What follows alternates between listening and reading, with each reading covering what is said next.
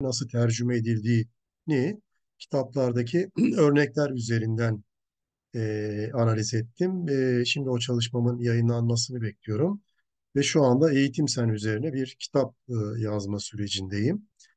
E, eleştirel pedagojiden e, görüldüğü gibi yani anlattıklarınız şunu gösteriyor. Haberdar olmamak mümkün değil. Hele Türkiye gibi e, bir ülkede e, eğitimin resmi kalıplar içerisinde e, alabildiğine piyasalaşmış pratikler çerçevesinde ve ayrıştırıcı bir takım e, ne bileyim programlar içinde ele alındığını hepimiz biliyoruz. Dolayısıyla eleştirel pedagojiyi Türkiye gibi bir ülkede uygulamak çok kolay değil. Bunu e, bu arada da e, bir bilgi olarak vereyim. E, Kasım ayında Ankara'da Bir Arada Derneği e, bileşenlerden düzenleyici kuruluşlarından biri. Kasım ayında Ankara'da Uluslararası Birinci Eleştirel Pedagoji Kongresi'ni e, yapacağız. Dolayısıyla orada e, dışarıdan gelen uzmanlar ve içerideki uzmanlarla Türkiye'deki eleştirel pedagojiyi masaya yatıracağız. Cinsiyet boyutunda, travmaya uğramış çocuklar, öğretmen eğitimi, yaratıcı drama, yaratıcı dans, e, laik eğitim sisteminde din öğretimi vesaire değişik başlıklar altında 15 atölye çerçevesinde ve e, bildirilerden oluşan panellerle e, bu konuyu ele alacağız. Şimdi e, isterseniz şöyle yapalım. Yani eleştirel pedagoji nedir? E, bununla ilgili ben birkaç şey söyleyeyim. Ondan sonra e, sizin de katkılarınızı almak istiyorum. Yani bir e, tanımını yapalım, bir temellendirelim. Yani kim ne demiş, nasıl olmuş? E, bugün onu e, konuşalım. E, o önümüzdeki haftadan itibaren de e, ilk zaten kitap analizini e, Joe Kinshole e, benim Türkçe'ye çevirdiğim bir e, giriş kitabı.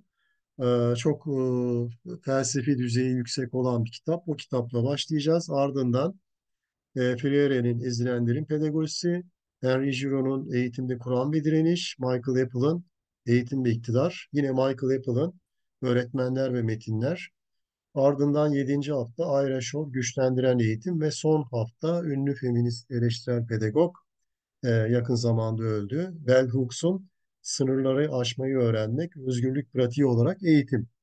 Bu kitapları seçtim ama e, çok böyle e, içim şey olmadı. Çünkü başka daha çok değerli kitap var fakat e, zamanımız kısıtlı. Dolayısıyla bir seçme yapmak gerekiyordu.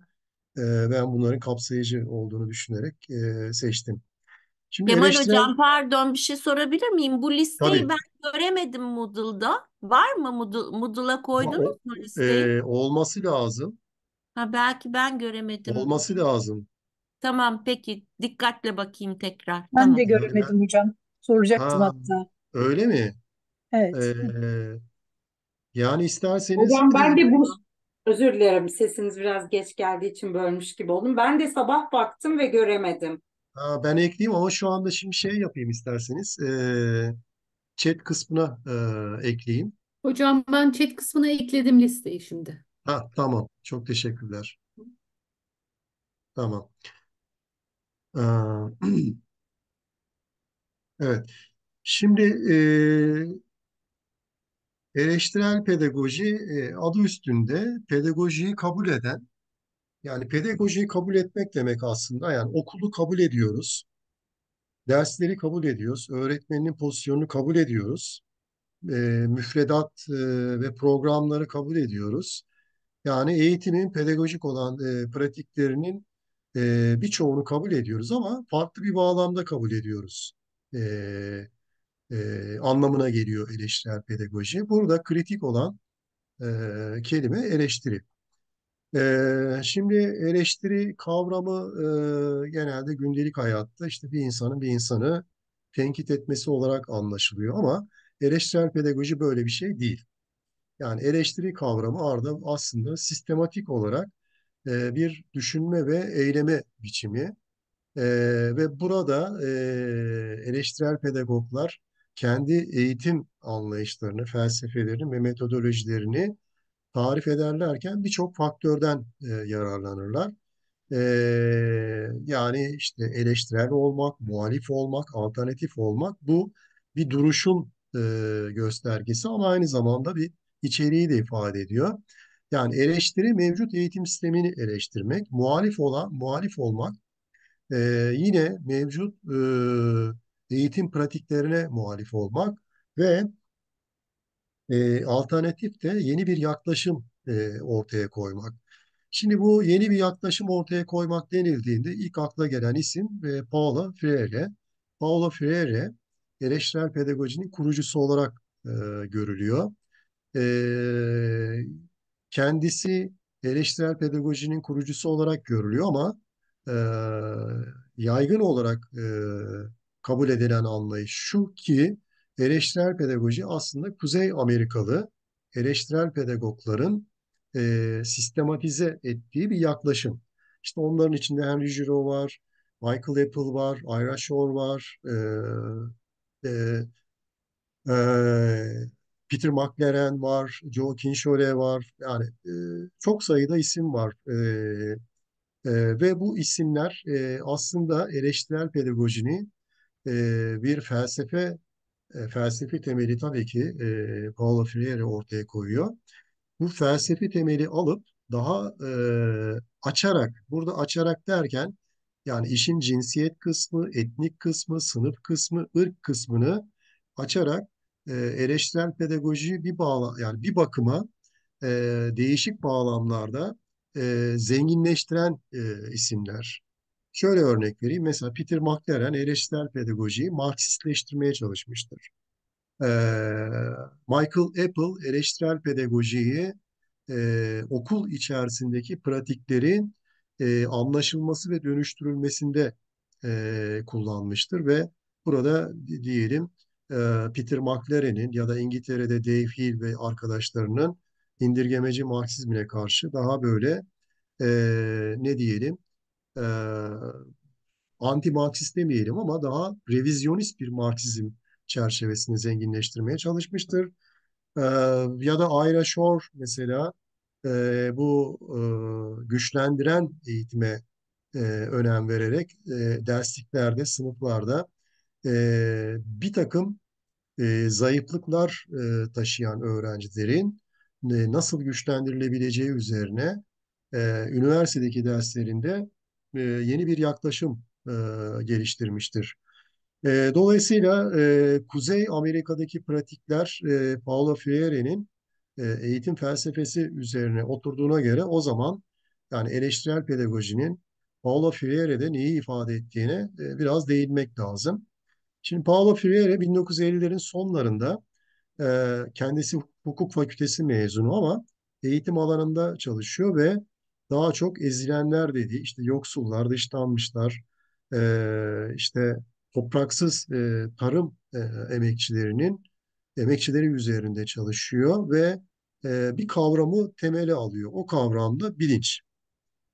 Kendisinin işte yanılmıyorsam Portekizce bir kavramdı. Söylemekte de çok zorlanıyorum o kavramı her zaman. E, diye böyle bir kavram. E, ama bilinci ifade ediyor. Yani eğitimi bir bilinç dönüştürücü e, pratik olarak ele alıyor. Ve burada yetişkinler üzerine çalışıyor. Dolayısıyla Paulo Freire aslında e, sol gelenekte ilk e, ne diyelim etkili ve sistematik olan yetişkin eğitimci. Ama şöyle bir şey var. E, bunu da antiparantez belirteyim. Aslında e, halk eğitimi e, kavramını kullanıyor. Fakat halk eğitimi kavramı zamanla e, piyasalaştığı için, piyasalaştırıldığı için yetişkin eğitimi ya da çok daha berbat bir ifade olan yaşam boyu öğrenim ya da öğretim olarak e, kullanılıyor.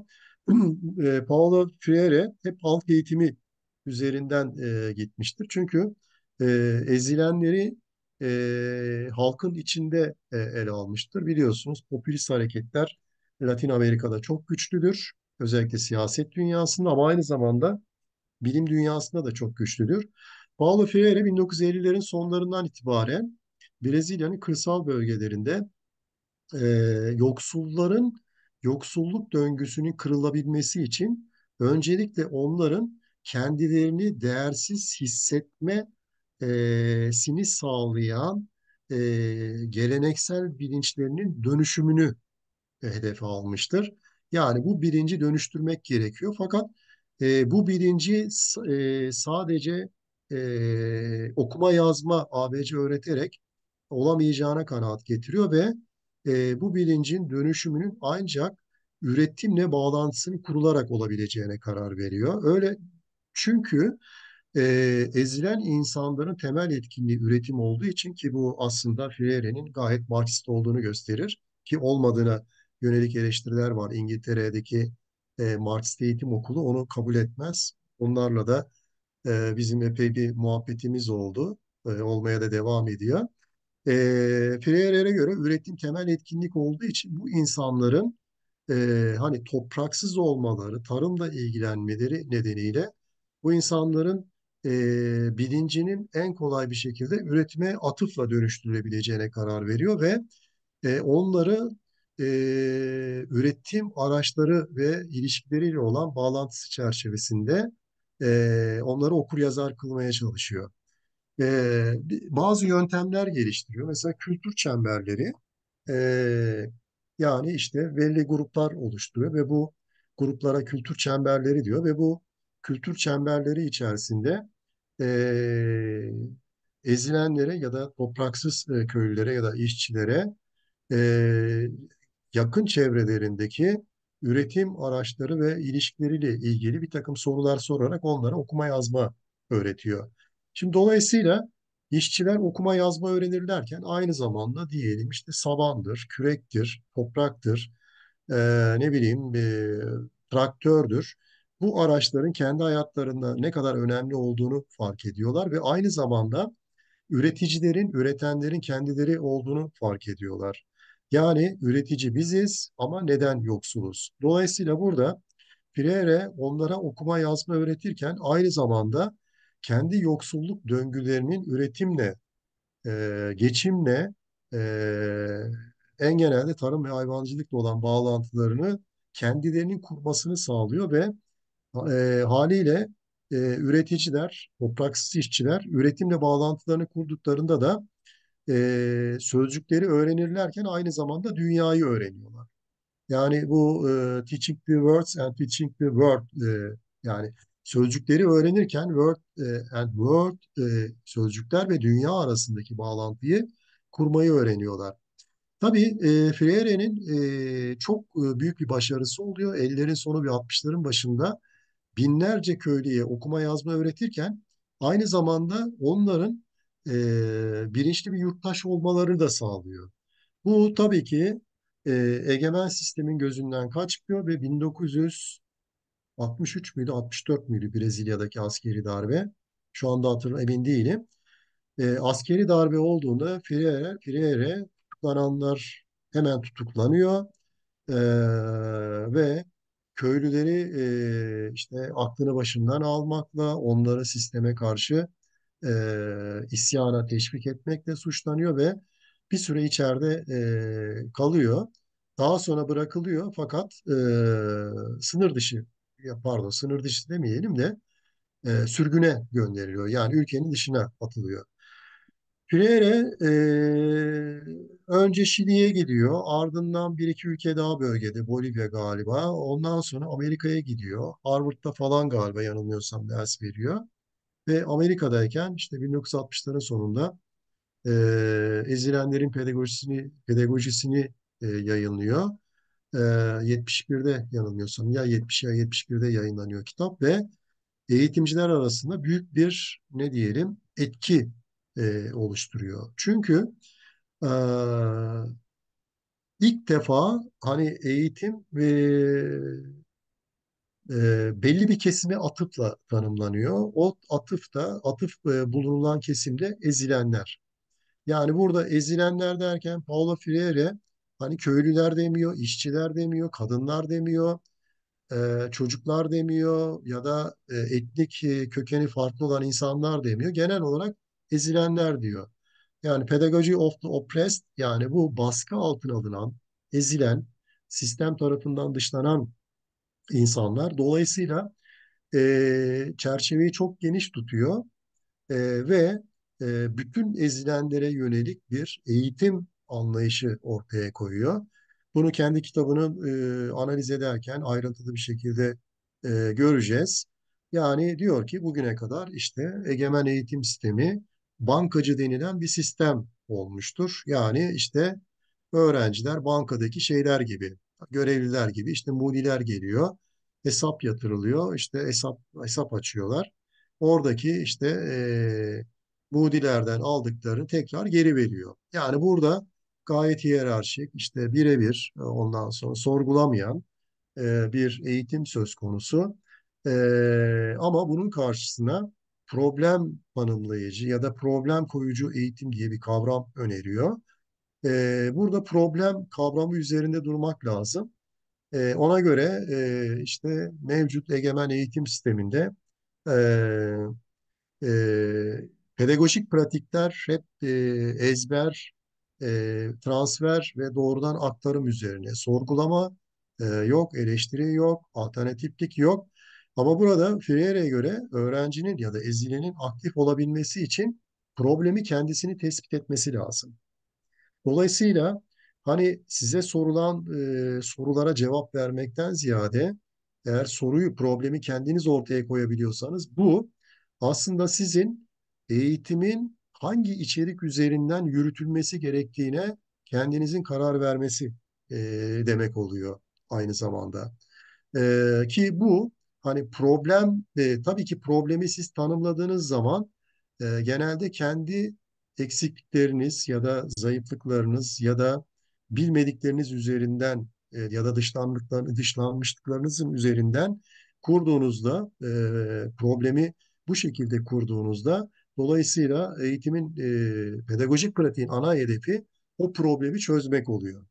Genelde o problem e, öğrencilerin zayıflıkları olarak ifade edilen yönleriyle ilgili. Yani bu cinsiyetle ilgili olabilir, zayıflık olabilir, etnik kökenle ilgili olabilir. Yani zayıflık derken yanlış anlama, kendini küçümseme, e, kendini ifade edememe, e, sistemin içinde kendini konumlandıramama gibi birçok faktör e, söz konusu olabilir. Dolayısıyla eleştirel pedagoji Freire'ye göre bir anlamda problemi öğrenci ve öğretmenin etkileşimiyle ortaya konulmasına dayalı bir yeni bir anlayış. Yani burada öğretmen kesin bir otorite değil. Hatta öğrenci öğretmen, öğretmen öğrenci diye iki yeni kategori öneriyor. E, çünkü e, öğrenmenin ve öğretmenin yukarıdan tek e, kanaldan hiyerarşik olarak değil diyalojik olduğunu söylüyor ki eleştirel pedagojinin birçok adından biri de diyalojik pedagojidir ya da radikal pedagojidir ya da güçlendiren pedagojidir. E, diyalojik e, ilişki çok önemli. Yani burada birbirini besleyen, birbirini üreten ve ortak bir şekilde e, ortak mekanda ya da farklı mekanlarda e, yeni bilgi üretimine açık olan bir e, süreç bu. Dolayısıyla hani klasik eğitim sisteminde müfredatlarla, programlarla, ders kitaplarıyla öğrencinin önüne gelen hazır e, ve paket hatta egemen sistemin meşru olarak gördüğü e, bilgilerin aksine e, bilgi üretme sürecinde öğretmenle öğrenci e, bir araya geliyorlar, kafa kafaya veriyorlar e, yeni yöntemler deniyorlar. Bu yöntemleri biliyorsunuz son dönemlerde yani işte sözlü tarih çalışması var. E, ne bileyim işte hafıza mekanları e, var. E, böyle değişik yöntemler e, söz konusu ve eleştirel pedagoglar bunları yoğun olarak kullanıyorlar. Şimdi eleştirel pedagoji e, Freire'nin e, felsefe olarak söylediği şey şu e, eleştirel pedagoji e, öğrenciyi e, öğrencinin e, nesneleştirilmesine karşı çıkıp onu özneleştirmeye çalışan bir e, pedagojidir. Özneleşme derken e, yani burada özne biliyorsunuz felsefi bir kategori e, bilinçle ilgilidir. Fail ise eylemle ilgili bir kategoridir. Yani her insan bir fail olabilir ama her insan özne olamaz. Yani bu aralar biliyorsunuz Kürt illerinde bir şey var işte bu e, e, mazbata olayı işte e, Orada mesela benim e, çok dikkatimi çeken bir kavram var. Yıllardır Kürtler bunu kullanır. İrade kavramı. İrademe dokunamazsın. İrademe saygı göster. Yani e, buradaki irade kavramı aslında e, oradaki Kürt seçmenin özneleştiğini gösteriyor. Yani ben diyor ne yaptığımın farkındayım, neyi istediğimin farkındayım, e, bilinçliyim, e, belli bir program çerçevesinde hareket ediyorum e, ve amacım, hedeflerim bunlar. Aslında bu derin bir felsefe içeriyor. Paulo Freire Hegel'den hareket ederek bu özne kavramının aslında e, biliyorsunuz işte Hegel'in bir köle efendi diyalektiği vardır. Yani kölenin var olabilmesi için efendinin olması gerekiyor. Efendinin olması için de kölenin olması gerekiyor. Bu aslında bu diyalektik ilişki aslında doğurgan bir e, e, ilişki. E, ama eleştirel pede, yani Freire'ye göre bu e, ilişkinin doğurgan olabilmesi için e, bu e, diyalektik ilişkinin aşılması gerekiyor. Yani bu çelişkinin çözülmesi gerekiyor.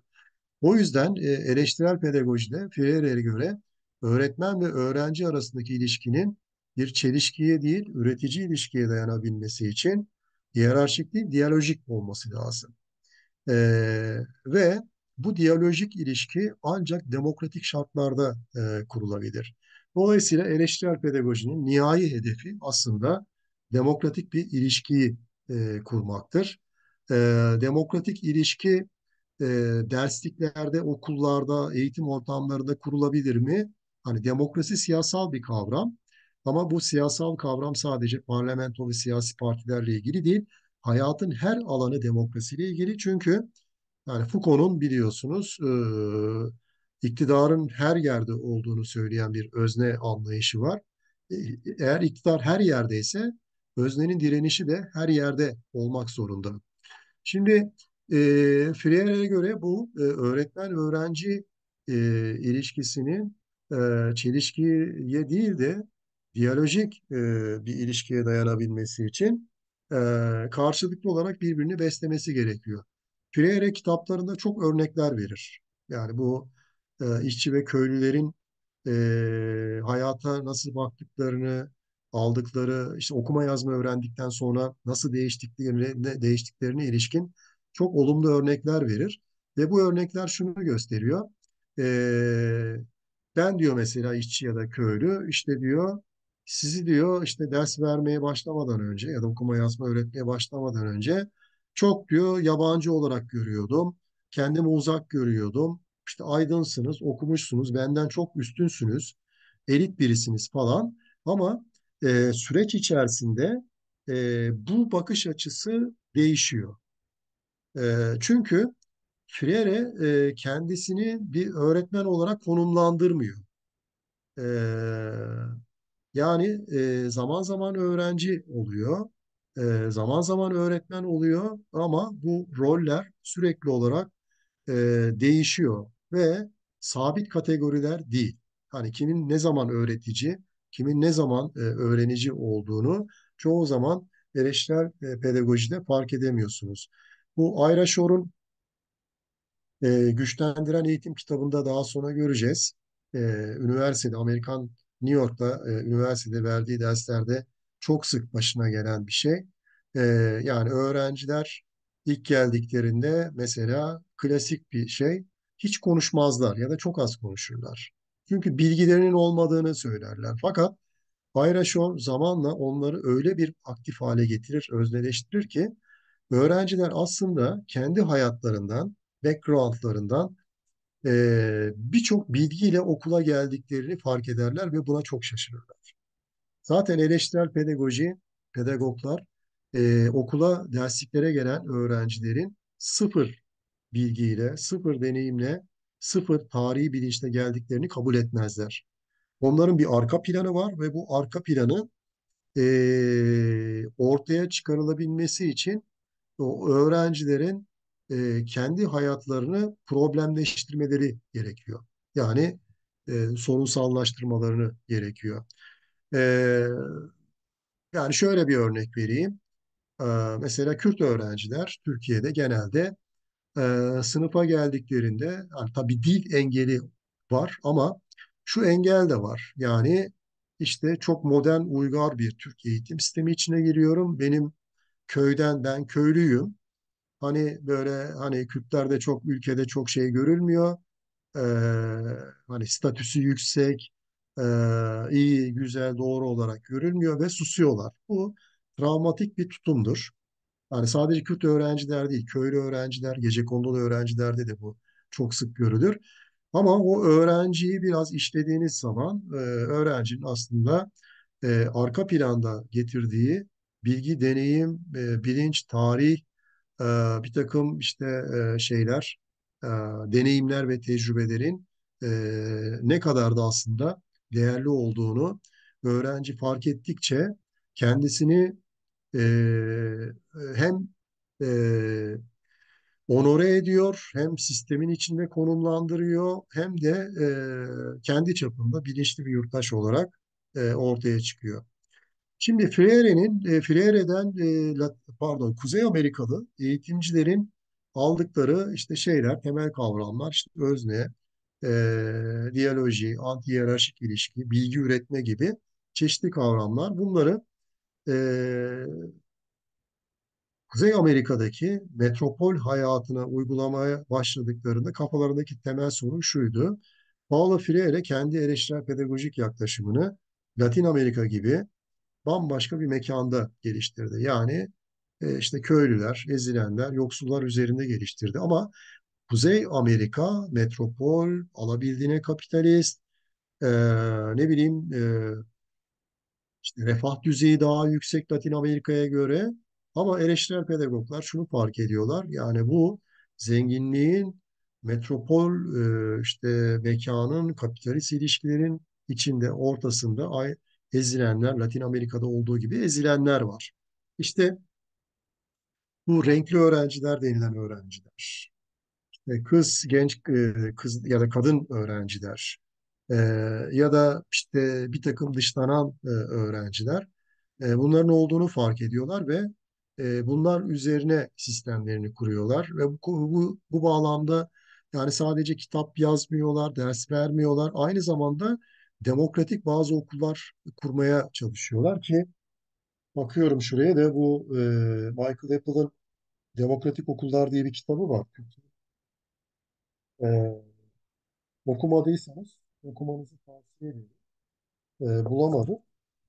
E, orada şunu görüyorsunuz. Yani aslında Kuzey Amerika'da e, bu e, getto demeyelim ama e, bir takım arka mahallelerde ya da şehrin e, merkezindeki yoksul mahallelerinde epey bir öğrenci var ve bu öğrencilerin aslında e, ciddi bir eleştirel pedagojik formasyona ihtiyaçları var. Şu nok bu noktada şu aklıma şu geldi. E, Ayna Shore Güçlendiren Eğitim kitabında öğrencilerin e, verili, ezberlenmiş ve meşru olarak e, aldıkları bir takım bilgilerin doğru olmadığını e, çok e, sert bir şekilde e, gündeme getiren bir eleştirel pedagog. E, mesela bir gün derse giriyor, e, Amerikalı öğrenciler res şeyi soruyor yani Amerika e, keşfedildi mi, sömürgeleştirildi mi? Öğrencilerin hemen hemen hepsi keşfedildiğini e, e, iddia ediyor ki biz de öyle öğre- öğrendik tarih derslerinde. E, hayır, sömürgeleştirildi diyor E, ve bunun açıklamasını e, yapıyor. Sömürgeleştirildi çünkü orada yaşayan insanlar vardı. Peki o zaman orada kim vardı? Hani keşfedildi denildiğinde öğrencilerin e, kafasındaki anlayış şu. Yani orada e, yaşayan insanlar yoktu. İşte bomboş bir e, coğrafyaydı ve işte İspanyollar oraya geldiler, keşfettiler ve oraya yeni bir dünya dediler. Halbuki orada yaşayan insanlar ve uygarlıklar vardı. Şimdi bunun gibi mesela yani öğrenci kendisini e, mesela sistem içerisinde son derece gereksiz görüyor. Bu özellikle siyah öğrencilerde. Hani biz neyiz ki işte bu sistem içinde yukarı çıkamayız, şey yapamayız vesaire. Bunun böyle olmadığını, yapabilecekleri e, çok şeyler olduğunu çeşitli örnekler üzerinden e, veriyor. E, Şimdi Kuzey Amerika'daki eleştirel pedagojinin e, kurumsallaşma ve sistematikleşme sürecinden biraz bahsetmek istiyorum. E, özellikle Frankfurt Okulu e, ardından Althusser e, e, ve Michel Foucault gibi e, sosyolojik kaynaklardan yararlanan e, Kuzey Amerikalı eğitimciler, biraz Henry Giraud, e, Michael Apple e, ve e, Antonio Darder e, eleştirel pedagojiyi bir e, böyle alabildiğine zenginleştirmeye zenginleştirdiler. Şimdi bu zenginleştirmede e, üç temel kavram öne çıktı. E, Paulo Freire ezilenler deyip e, geç, geçti fakat e, Kuzey Amerikalı eleştirel pedagoglar ırk, sınıf ve cinsiyet kavramlarının eleştirel pedagojinin temel kavramları olduğunu e, e, iddia edip yeni bir açılım geliştirdiler. Bu açılımın temel e, noktaları şu, bu üç kavram birbirinden ayrılamaz. Yani bir eğitim sisteminde e, bir ırk e, ayrımcılığı, bir ırk e, aşağılanması söz konusuysa bunun mutlaka bir sınıfsal ve cinsiyet yönü de vardır. E, ve Amerika'da e, özellikle e, ırk, sınıf ve cinsiyet e, sömürüsünün e, eş e, zamanlı, paralel gittiğini iddia ediyorlar ve Amerikan eğitim sisteminin e, bu hiyerarşik, e, kapitalist e, ve dışlayıcı ilişkiyi e, nasıl yürüttüğünü e, pedagojik pratikler içerisinde ortaya koyuyorlar. Mesela müfredatları inceliyorlar, ders kitaplarını inceliyorlar, öğrenci formasyonunu inceliyorlar, e, okullardaki öğretmenlerin pratiklerini inceliyorlar e, ya da okullara dışarıdan piyasadan dayatılan e, e, ticarileşmiş paket programları inceliyorlar. E, ya da okullarda mesela Michael Apple'ın yap, yaptığı gibi e, işte e, bazı televizyon kanalları üzerinden e, bazı reklamların öğrencilere nasıl ulaştırıldığını ve bunun öğrencileri nasıl piyasalaştırdığını inceliyorlar. Şimdi dolayısıyla eleştirel pedagoji şunu özellikle e, Kuzey Amerikalı eleştirel pedagogların üzerine durduğu nokta. Yani eğitimdeki sorunlar teknik sorunlar değil. E, yani bunlar işte yöntemi değiştirince değişecek. E, bir takım pratikler modernleştirildikçe bu sorunlar aşılabilecek sorunlar değil. E, bu sorunlar politik sorunlardır ve e, eğitim doğası itibariyle Freire'nin de dediği gibi politik olduğu için siyasete gönderme yapmadan e, bir e, eğitim pratiğinin anlaşılması mümkün değil. Yani burada siyasete gönderme derken özellikle Michael Apple mesela Althusser'in e, yaklaşımını e, eleştiriyor. E, yani orada indirgeme yapmamak gerekiyor. Bütün eğitim sorunlarının e, işte kalkıp e, kapitalizmin e, sınıfsal iliş- ilişkileri içerisinde ekonomik olmadığını, bunun içinde ideolojinin, kültürün ve kimliğin çok önemli olduğunu iddia ediyor ve bu noktalarda analizini yapıyor. Dolayısıyla e, eğitimin politik niteliği bir bir bakıma aslında eğitimin e, eğitim içerisinde okullardaki eğitim pratiklerinin e, anlaşılabilmesi için e, parametrelerin genişletilmesini e, gerektiriyor diyorlar. İşte ırk, sınıf e, ve cinsiyet dedik ama bunun dışında tarih var, bilinç var, kimlik var, e, gelenekler var, e, modern yaşamın içerisinde işte medya var. Mesela Henry Giraud medya e, konusunu bayağı ele alıyor. Hatta şöyle bir şey hatırlıyorum. E, bir eleştirel pedagog e, mesela rock and roll Amerikan Amerikalı muhafazakarlar tarafından Amerikan gençliğini zehirleyen kültürel ürünlerden biri olarak görülüyor ya da sanatsal formlardan. O eleştirel pedagog makalesinde şey diyordu. Rock and roll baya baya e, öğrencilerin kendi bedenlerinin farkına varmak, kendi bedenlerini etkinleştirmek, ifade etmek bakımından gayet e, ilerici e, ve e, verimli bir e, güçtür. E, yani işte mesela caz örneğini e, şeyler için de veren, siyahlar için veren eleştirel pedagoglar da var. Hani burada e, öğrencilerin e, kendi şeylerinden, yani şöyle düşünelim mesela bir Kürt öğrencinin babası Dengbeş. İşte e, Dengbejler biliyorsunuz geleneksel e, ne diyelim söz ve e, müzik ustaları.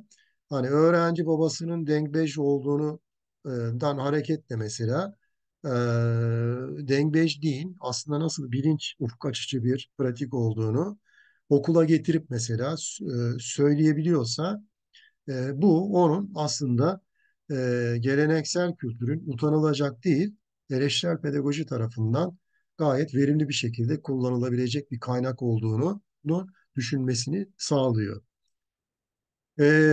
Ben burada bir biraz bir ara vereyim ve sözü size bırakayım. Hani eleştirel pedagojiyi siz nasıl anlıyorsunuz, kavramsallaştırıyorsunuz ya da kafanızdaki imge ne eleştirel pedagojiyle ilgili? Hani e, katkı, e, yorum, eleştiri hatta düzeltme de olabilir. E, biraz sözü size bırakmak istiyorum. Buyurun.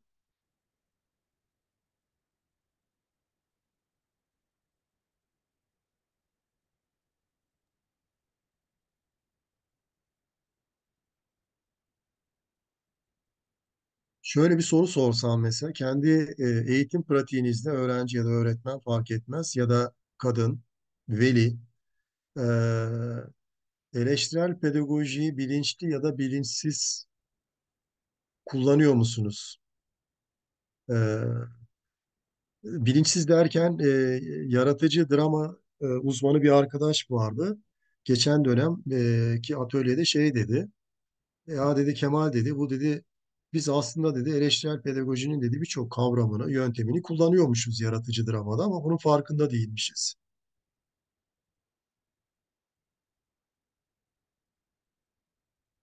Hocam merhabalar. Ee, ben e, ken- kendi deneyimlerimden bahsetmek isterim.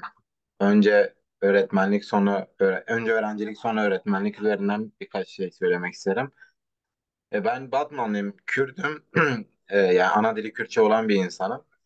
E, mesela bahsettiğiniz o işte e, etnik köken yani ırk meselesinde de hani e, ilkokula başladığımızda yarım yamalak bir Türkçeyle işte e, Türkçeyle hocalarımızın tam olarak ne söylediğini anlamadığımız ve aslında eğitimin nasıl bir işte kitleleri, bireyleri asimile etme uğraşı içerisinde olduğunun birebir hani şahidi olmuştum kendi ilk öğrencilik dönemimde. Ee, bunun dışında da e, kendi öğretmenlik deneyimim üzerinden bir örnek vereyim. Yine aynı Batman'da ben bir köyde ücretli öğretmenlik yaptım. Orada işte pandemi sonrasıydı. Köyde internet olmadığı için işte birçok çocuk zaten e, online eğitime erişememişti. Ve hani ben okula gittiğimde de birleştirilmiş sınıf verilmişti. Üçüncü ve dördüncü sınıf ve bana hani müdürün dediği şey şu olmuştu. Zaten okuma yazma bile doğru dürüst bilmeyen öğrenciler. Hani biraz okuma yazmaya daha temele yönelelim. Tabii e, bizim orada okullara askerler de e, şey gelir. Ziyaret ziyaret amacıyla geldiklerini söyleyip işte dersleri, hocaları falan yoklarlar. İşte bir hoca bir uzman çavuş dersime gelip şey demişti. İşte öğrencilerime e, 15 Temmuz'u sormuştu. Sonra birkaç daha işte şövenist e, kavramları kullanmıştı ve öğrenciler bilmeyince işte bana hocam benim kızım da dördüncü sınıf bunları biliyor siz hani e, öğrencilere tam aktaramamış mısınız diye demişti. Hani ben burada ona şunu demiştim benim öğrencilerim daha okuma yazmayı bile bilmeyen hatta Türkçe bile bilmeyen öğrenci e, bireylerken benim kalkıp onlara 15 Temmuz'u anlatmam ya da işte tırnak içerisinde FETÖ'yü anlatmam onlara ne katacak ki diye söylediğimde işte bana olur mu hocam zaten bizim de amacımız bu değil mi eğitimde diye aslında Türkiye'deki resmi ideolojinin eğitime yansımasını çok güzel bir şekilde anlatmıştı. Teşekkür ediyorum. Bu 15 Temmuz ve FETÖ meselesi e, ders kitaplarının birinde var galiba ve müfredatlarda da var Hocam yanılmıyorsam. ilkokul e, ilkokul 4. sınıf ve 3. sınıfların kitabında işte onunla demokrasi ve birlik haftası olması gerekiyor ismi tam Evet. hatırlamıyorum. Orada işte e, hainler, işte teröristler diye geçiyordu ve hani orada derse girip işte öğrencilerime bunu, bunu soru bir askerin bunu sormasının da hani iyi niyetli bir amaç olmadığı ve hani bana sonrasında işte hocam zaten biz bunun için buradayız demesiyle işte Türkiye'deki eğitim ideolojisinin eğitimin ne kadar da neye ve nelere hizmet ettiğini de çok net bir şekilde gösteriyordu. Ya hocam askerin derse girmesi ne demek? Yani ben de şaşırmıştım. Hatta müdür böyle yapmıştı falan. Hatta öğrenciler falan e, bir de silahla girmişti mesela. İşte Oo. öğrenciler de hani e, köydeki öğrenciler de şehirden uzak olduğu için hani hepsinin askerlere ve işte militarizme dair e, algıları da mesela hep birçoğu korkmuştu işte niye geldi bizi mi alacak? İşte biri diyordu bu geçen bizim köye de geldi bizim köyden birini aldı gibi şeyler söylüyordu. Yani direkt e, amacın ve eylemin tam ortasına geliyor. Yani asker okula giriyordu, polis okula giriyordu. İşte değişik değişik sorular soruyordular öğrencilere, öğretmenlere ve çok Aklıma aklıma şey geldi. Ben liseye 78'de başladım. Ara verdim 80'de. 80 sonrası milli güvenlik derslerimiz vardı. Subaylar gelirdi. Ee, ve bir öğrenci kapıda dikkat çekerdi. Ondan sonra Ee, yani 12 Eylül e, işte o dönem işte 80-83 arası e, hakikaten şey e, hani militarizmin hani milli güvenlik dersi kaldırıldı yanılmıyorsam daha sonra AKP tarafından. Ama daha daha beter oldu yani. E, ders kaldırıldı Direkt, ama. direkt okulu ziyarete geliyorlar hocam. evet evet. E, yani bu şey ilginç bir şey. E, yani bu militarizm zaten eleştirel pedagojinin e, mücadele ettiği temel e, ne diyelim egemen ideolojik e, formasyonlarından biri. Yani ben biraz daha daha çok daha erken tanıştım hani eğitimin asimilasyon boyutuyla. Hani hani evet bir Kürt olarak direkt eğitim yani kendi bölgemde Kürt bölgesinde eğitim kurumlarının tamamen bir asimilasyon kurumu olduğu çok aşikardı. Birçok benle yaşıt olan veya benden büyük olanların tanıklıkları, e, anlatılarında da bunu çok net bir şekilde görüyorduk. Hani biz hem e, politik kimliğimizden kaynaklı hem de ulusal kimliğimizden kaynaklı işte e, eğitim sürecinin ne kadar sert bir yani kapitalist eğitim sisteminin ya da işte Freire'nin e, tabiriyle bankacı eğitim modelinin işte en sert e, yüzünü, en e, açık yüzünü gördüğümüzü düşünüyorum açıkçası bir Kürt olarak. Evet. Evet, İbo. Ee, İbo evet. meselesi de ayrı bir mesele. Ee, yatılı ilköğretim bölge okulları. Ee, sen, başka arkadaşlardan e,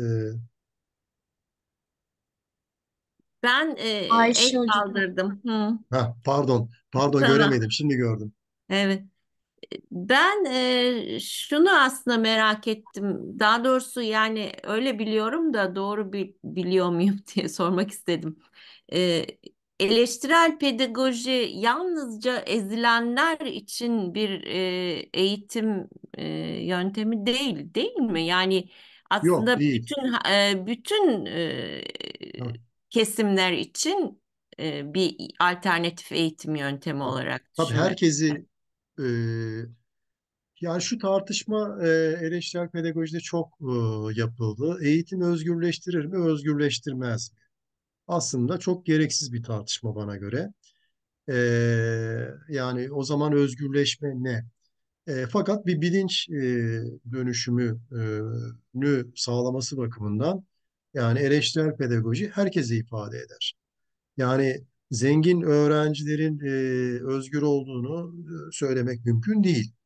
Yani işte ne bileyim böyle çok iyi okullarda okuyan öğrencilerin e, onlarda hiçbir sorun yokmuş gibi davranmak mümkün değil.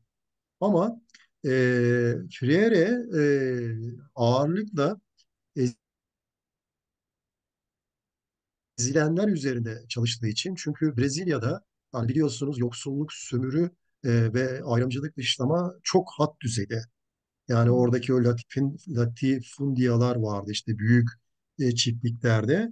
Yani orada mesela yerliler e, özellikle Peru'da e, işte yerli oldukları için ırklarından dolayı, Hı hı. kültür ve kimliklerinden dolayı ama emekçi oldukları için ama bir de kadın oldukları için e, vesaire Hani bunlara baktığınız zaman evet e, eleştirel pedagoglar yani e, çok zayıf oldukları için ya bu zayıf kavramı da tırnak içinde kullanılmalı. E, çünkü e, aslında e, ezilen öğrenciler, dışlanan öğrenciler hiç de zayıf öğrenciler değil. Hı hı. Çünkü e, okula belli bir tarihle, bilinçle, dille geliyorlar. Yani bir Kürt öğrenci hani Türkçe anlamayabilir ama Kürtçe'de Kürtçe onunla konuşmaya başladığınız zaman harikalar yaratabilir. Ya da işte ne bileyim matematik problemini çözemeyebilir ama bir ağacın nasıl, bir bitkinin nasıl yetiştirileceği konusunda öğretmene ders verebilir. Dolayısıyla burada e, bu Ütopya'dan bir kitap çıkmıştı. E, e, Latin Amerika'da bir yerlici eğitim akımı var.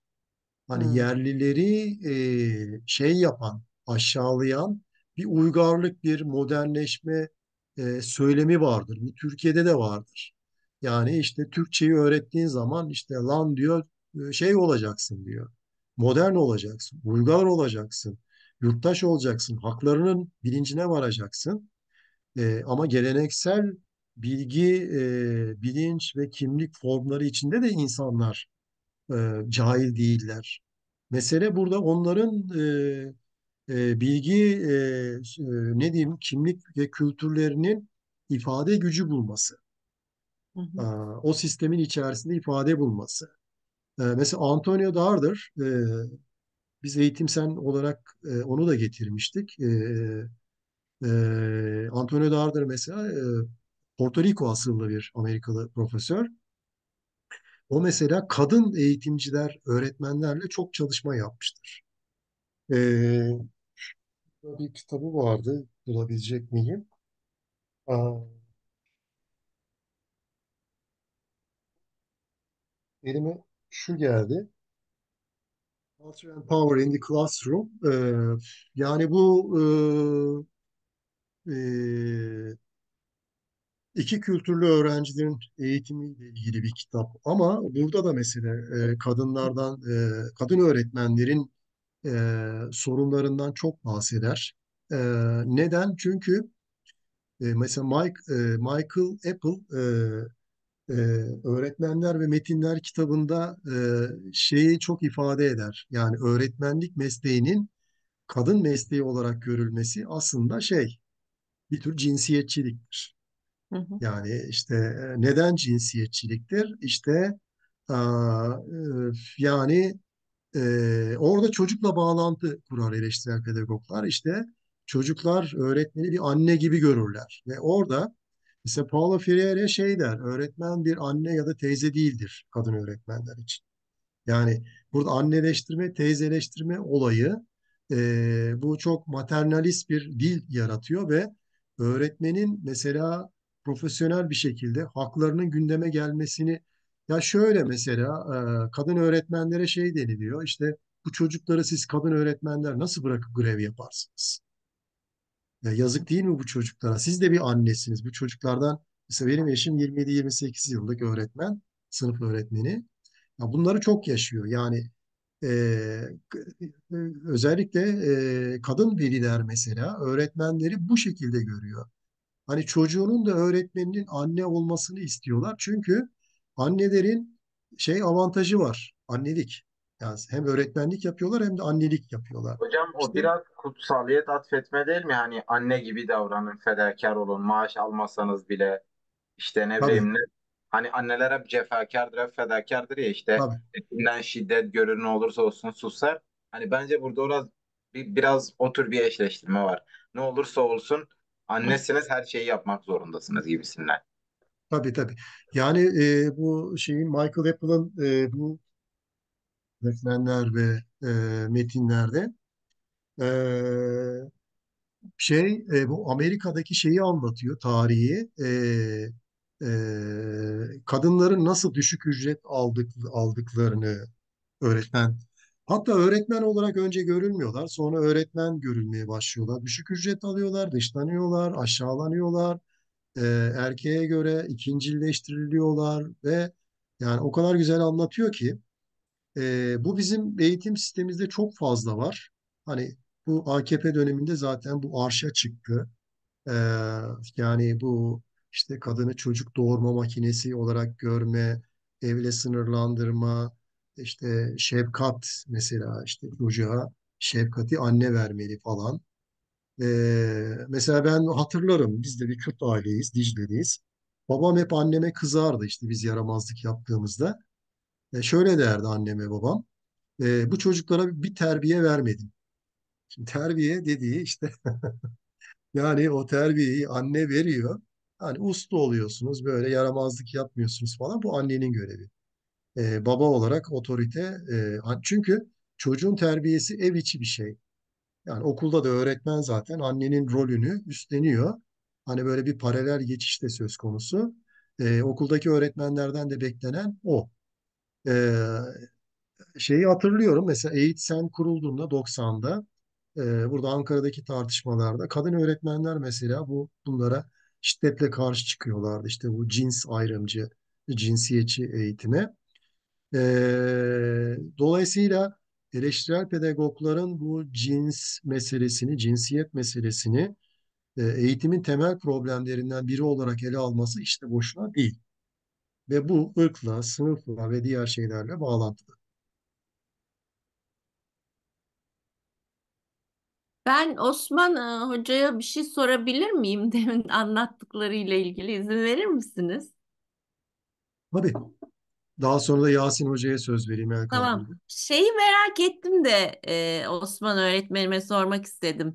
Yani siz bir Kürt öğretmen olarak e, acaba bir fark yaratabildiniz mi? E, Kürt öğrencilerle Kürtçe konuşma şansınız olabildi mi? Yani şöyle hocam ben zaten e, atanamamış bir öğretmenim. Bir buçuk yıl e, ücretli öğretmenlik yaptım.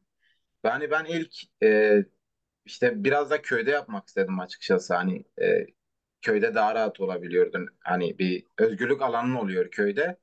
Hı Hani hı. ilk gittiğimde benim ilk derse girdiğimde sınıfta 13-14 tane e, öğrencim vardı. Bana ilk sordukları soru şey olmuştu işte. E, bozuk bir Türkçeyle öğretmenim Kürtçe biliyor musun diye sormuşlar. Çünkü hani okula başlayınca Türkçe öğreniyor, Türkçe öğreniyorlar ve okulda pandemiden dolayı kapandığı için e, Hı şeydiler. E, Türkçeleri de çok zayıftı. Ve ben onlara hani Kürtçe biliyorum dedim ve istediğiniz zaman da benimle Kürtçe konuşabilirsiniz dedim. Hani köyün biraz sosyolojik yapısı da farklı. E, köydeki bir öğretmen politik görüşü ne olursa olsun bir öğrenciye Kürtçe konuşma dediğinde köylü buna çok sert tepki verebiliyor. Hani eskisi gibi değil. Ve ben hani tüm öğrencilere işte Kürtçe konuşabilirsiniz e, demiştim. Hani ondan sonra Kürtçe çizgi film ve Kürtçe işte çocuk e, şarkıları falan açınca e, daha da hani samimi olduk ve hani onun dışında e, dediğim gibi ben müfredat bağlamında da pandemiden kaynaklı rahat bırakıldığım için ee, yani bir- direkt bir kitaba bağlı kalamıyordum. Çünkü dördüncü sınıfta işte iki basamaklı çarpma işlemi öğretilmesi gerekiyor ama ben daha e, tek basamaklı çarpma işlemini bile bilmiyordular. Hani bir hem pandemiden kaynaklı özgürlük alanım vardı hem de köy olduğu için ve e, köylülerin de e, politik e, duruşu da iktidardan yana olmadığı için e, bir fark yaratabildiğimi düşünüyorum açıkçası ama hani bu fark böyle çok hani bu müfredatın sınırlarını belli, belirlediği sınırlar içerisindeki bir farktı. Bahsettiğim gibi hani bir anda bir asker sınıfa girip işte öğretmenim merhabalar biz öğrencileri ziyaret etmek istedik deyip işte öğretmeni taciz etme bağlamında işte e, işte 15 Temmuz'da ne 15 Temmuz konusunda ne düşünüyorsunuz gibi sorular sorabiliyordu yani. Yani devlet okulları öyle bir e, çepeçevre sarılmış ki bir öğretmenin yaratabileceği evet fark vardır ama bir bireysel tek bir öğretmenin yapabileceği çok şey yoktur diye düşünüyorum. hı. E, umarım cevap Teşekkür verebilirim. ederim. Tamam. Hı. Ee, Yasin Hocam, sonra Esra Aa, Hocam. Sorunuzdan hareketle şeyin önemli olduğunu düşünüyorum. Bir alternatif ortaya çıkarırken kavramları yeniden ele alıp tekrar tekrar bakmanın. e, Biz şey yapmaya çalışıyoruz açıkçası okulumuzda. Bu öğrenme, öğretme, öğrenci, öğretmen kavramlarına dikkat etmeye çalışıyoruz. Mesela öğrenci ve öğretmeni pek kullanmıyoruz. Ee, çocuk demeyi tercih ediyoruz. Bizde çünkü yetişkin eğitim yok ama çocuklar var. Ee, öğretmen yerine de daha çok yetişkin demeyi tercih ediyoruz. Evet, Bu kadar teşekkür, benim yorum. teşekkürler. Ee, Esra Hocam. Ya bugün sabahki dersimden başlayan bir sorundan bahsedeyim. Dördüncü sınıflara ders veriyorum, seçmeli bir ders. 10-15 öğrencim var. Ee, dönemin ortasına geldik. Şimdi dersi soru sorarak açıyorum, katmaya çalışıyorum, gündelik yaşamlardan örneklerle konuşturuyorum. İşte biraz böyle işçi sınıfının durumu, emekçi sınıfı vesaire kitapları da olabildiğince romanımsı örnek olaylardan seçiyorum ama ilk derse girdiğimiz andan beridir bir yerde de, şey alakasız bir yerde sınavda ne soracaksınız? Bu bu bitmedi e, 4-5 haftadır. E, ve ben de bunun işte bir bankacı eğitim modelinden kaynaklanan bir zihin sorunu olduğunu, bu bunun bir pazarlıkçılık aşamasına geldiğini e, ve okumaya diren, diren direnmeleriyle karşı karşıyayız. Yani bunlar artık meslek hayatına atılacak. Eskiden olsa kaymakam olacak öğrenciler. Şimdi e, kırama, kıramıyoruz. E, iki, iki dakika sonra başlıyorlar ama KPSS var, işte ALES var, dil var, dil sınavı var. Biz işte zamanımızı okumaya ayırmak istemiyoruz. E, onu da anlıyorsunuz. Bu sefer hani YouTuber gibi ders anlatmaya başlıyorsunuz. E, biraz böyle e, beden dili katarak ve teatral şeyler yaparak ortada dolanarak hani olabildiğince katılımcı olsunlar, rahat konuşsunlar, her fikirlerini ifade etsinler.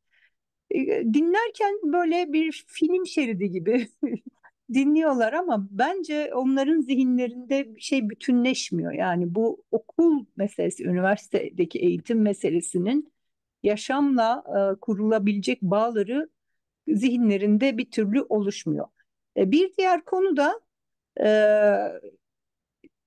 eğitimcilere bir nefret var toplumda. Yani başka kesimlerle de e, birazcık e, daha eskiden olsa hani öğretmen modunda didaktik bir şeyin mesela Fre- Freire'in yaşadığı yıllarda olsa topraksız insanlarla yaptığı diyaloğun ben günümüzde mümkün olduğunu düşünmüyorum. Yani bu o, orada başka bir şey var artık. Yani o didaktiklik, öğreticilik, modernizm başka bir şey ifade etmeye başladığı için ona da bir direniş var. Ee, orada bizim işimiz çok zor. Yani biz kimseye bu anlamda bir şeyi böyle hani bilinç yükseltme vesaire sağlayacaksak onu nasıl yapacağız? Ee, biraz zorlanıyoruz yani her aşama, her aşamasında. Yani Ayra Şor kitabında onunla ilgili çok güzel örnekler veriyor. Hani o resmi parçalarını bütünleştirme olayı çok zor. Mesela özellikle bu siyah ya da renkli öğrenciler, yoksul öğrenciler derse geldiklerinde e, şöyle bir güvensizlikleri oluyor genelde. Yani işte buradan mezun olacağız, ne yapacağız? İşte siyahız, bize iş vermezler. İşte çok düşük ücret alacağız. Özellikle kadın öğrenciler hani e, ne olacak? İşte biz zaten cins olarak da sömürülüyoruz. Yani bu sistemin içinde mahvolup gideceğiz e, ve başaramayacağız e, diye. Dolayısıyla hani onlara bu işin böyle olmayabileceğini e, anlatabilmek e, çok kolay değil. O sınav şeyi de başka bir şey. Ona da daha sonra bir değinmek lazım aslında. E, Aslan Hocam,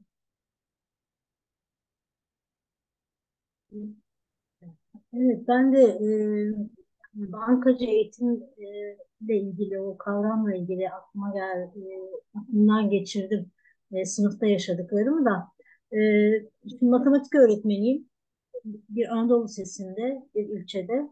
E, tabii ki e, matematik e, öğrenme e, düzeyleri çok e, iyi değil öğre- öğrencilerin. Yani neredeyse şu an lisedeki öğrenci e, eskinin hani ilkokul, ortaokul, ortaokul ilk sınıfları düzeyinde. Ve artık e, biz şöyle yapar hale geldik. Öğrenciler öğreniyormuş gibi yapıyoruz. Yani çünkü o e, sisteme girmiş öğrenci çıkmak zorunda ve onu bir şekilde çıkarıyoruz. Yani e, işte sınıfta kalma da yok, şu da yok, bu da yok. Öğrenme de yok. E, biz ne yap ve ben bunu bu da beni çok e, üzüyor, etkiliyor. Yani e, o, e, o zamanı e, boşa geçiriyorum. Ya boşa geçiriyormuşum gibi ve kendimi e, işe yaramaz hissediyorum. Yani şey e, tatmin olamıyorum, mesleki tatmin duyamıyorum.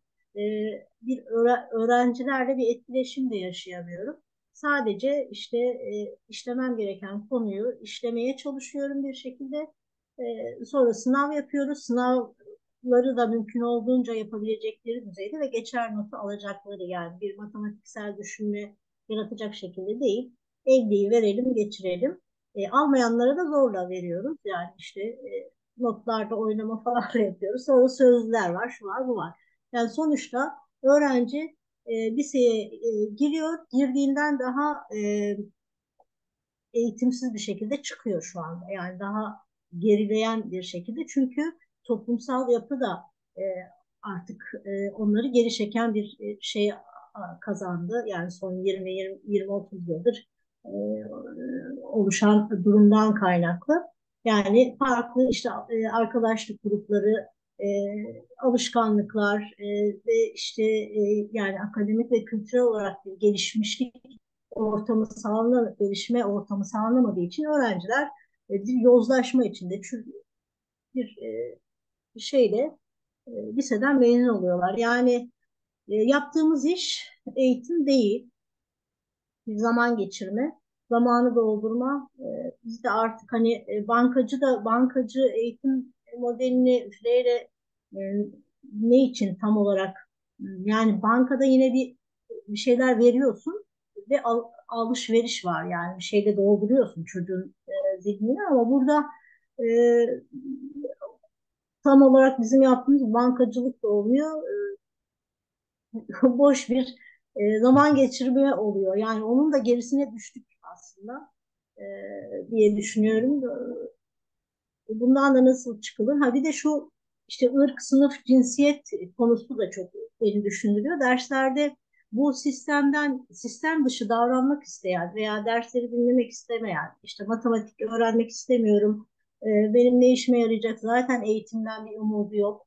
E, yani üniversiteye gitsem de bir şey olmuyor, işsiz kalıyorum, zaten gidemeyeceğim iyi bir yere gibi e, şeylerle özellikle erkek öğrenciler bu sistemden çok daha kolay e, kendilerini özne olarak yani kendi e, düşündükleri çerçevede özneleştirerek e, şey davranıyorlar. Umursamaz, e, lakayt ve e, yani onlarla bir iletişim kurmak, onlara ulaşmak çok daha zor oluyor. Kendi dünyasında e, derste istediği gibi konuşuyor, davranıyor, işte şey yapıyor. Ama kız öğrenciler bu eğitim sistemine e, çok daha uyumlu, itaatkar.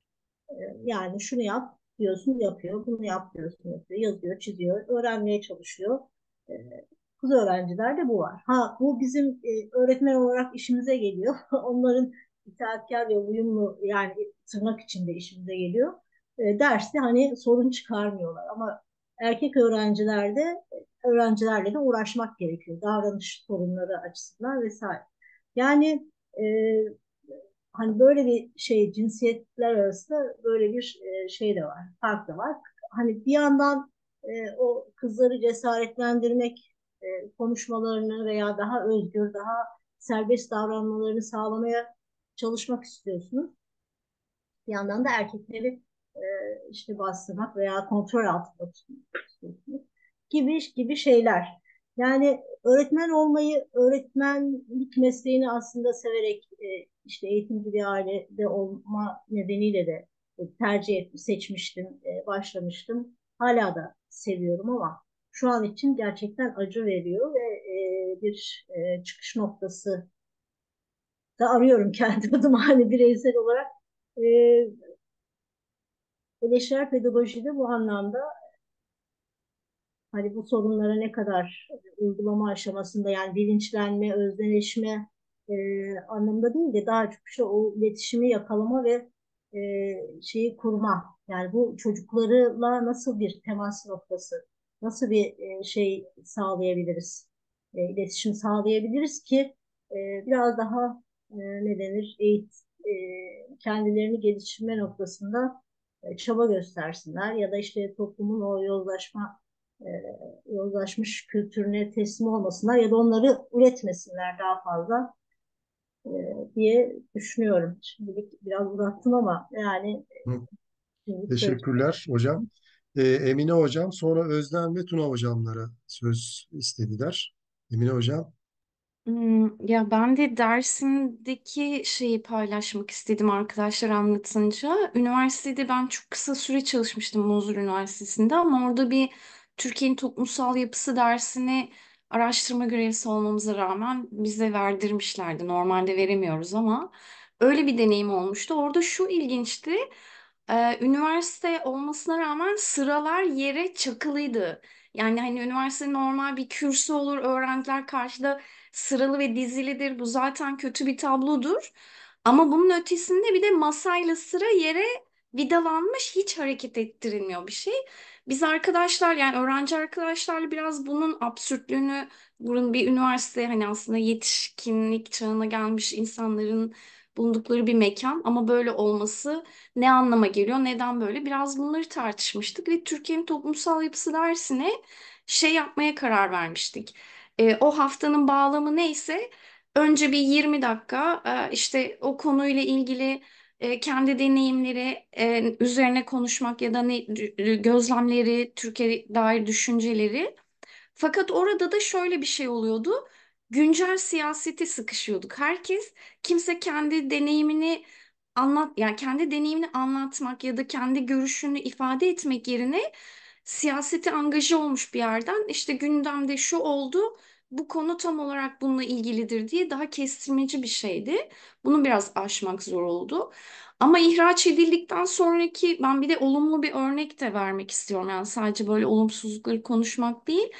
Ee, ihraç edildikten sonra daha yaratıcı alanlarda arayışlara girdiğimiz bir süreç oldu ve Off University'de uzaktan onlar online e, ders e, şeklinde şey yapıyorlar.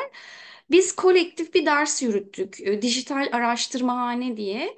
Türkiye'de işte 1980 sonrası bizim gibi böyle alternatif muhalif oluşumların işte hangi neler yapıldı onlarla böyle mülakatlarda yani araştırmayı da hem böyle uzaktan ama e, o platformda şeyle e, ne denir o dersin kapsamında böyle bayağı e, iyi bir e, şey olmuş. Yani kolektif üretilmesi de hem dersin hem izlencenin hem içinde yapılacak etkinliklerin daha doğrusu ortak kararlar alarak ilerlemek falan.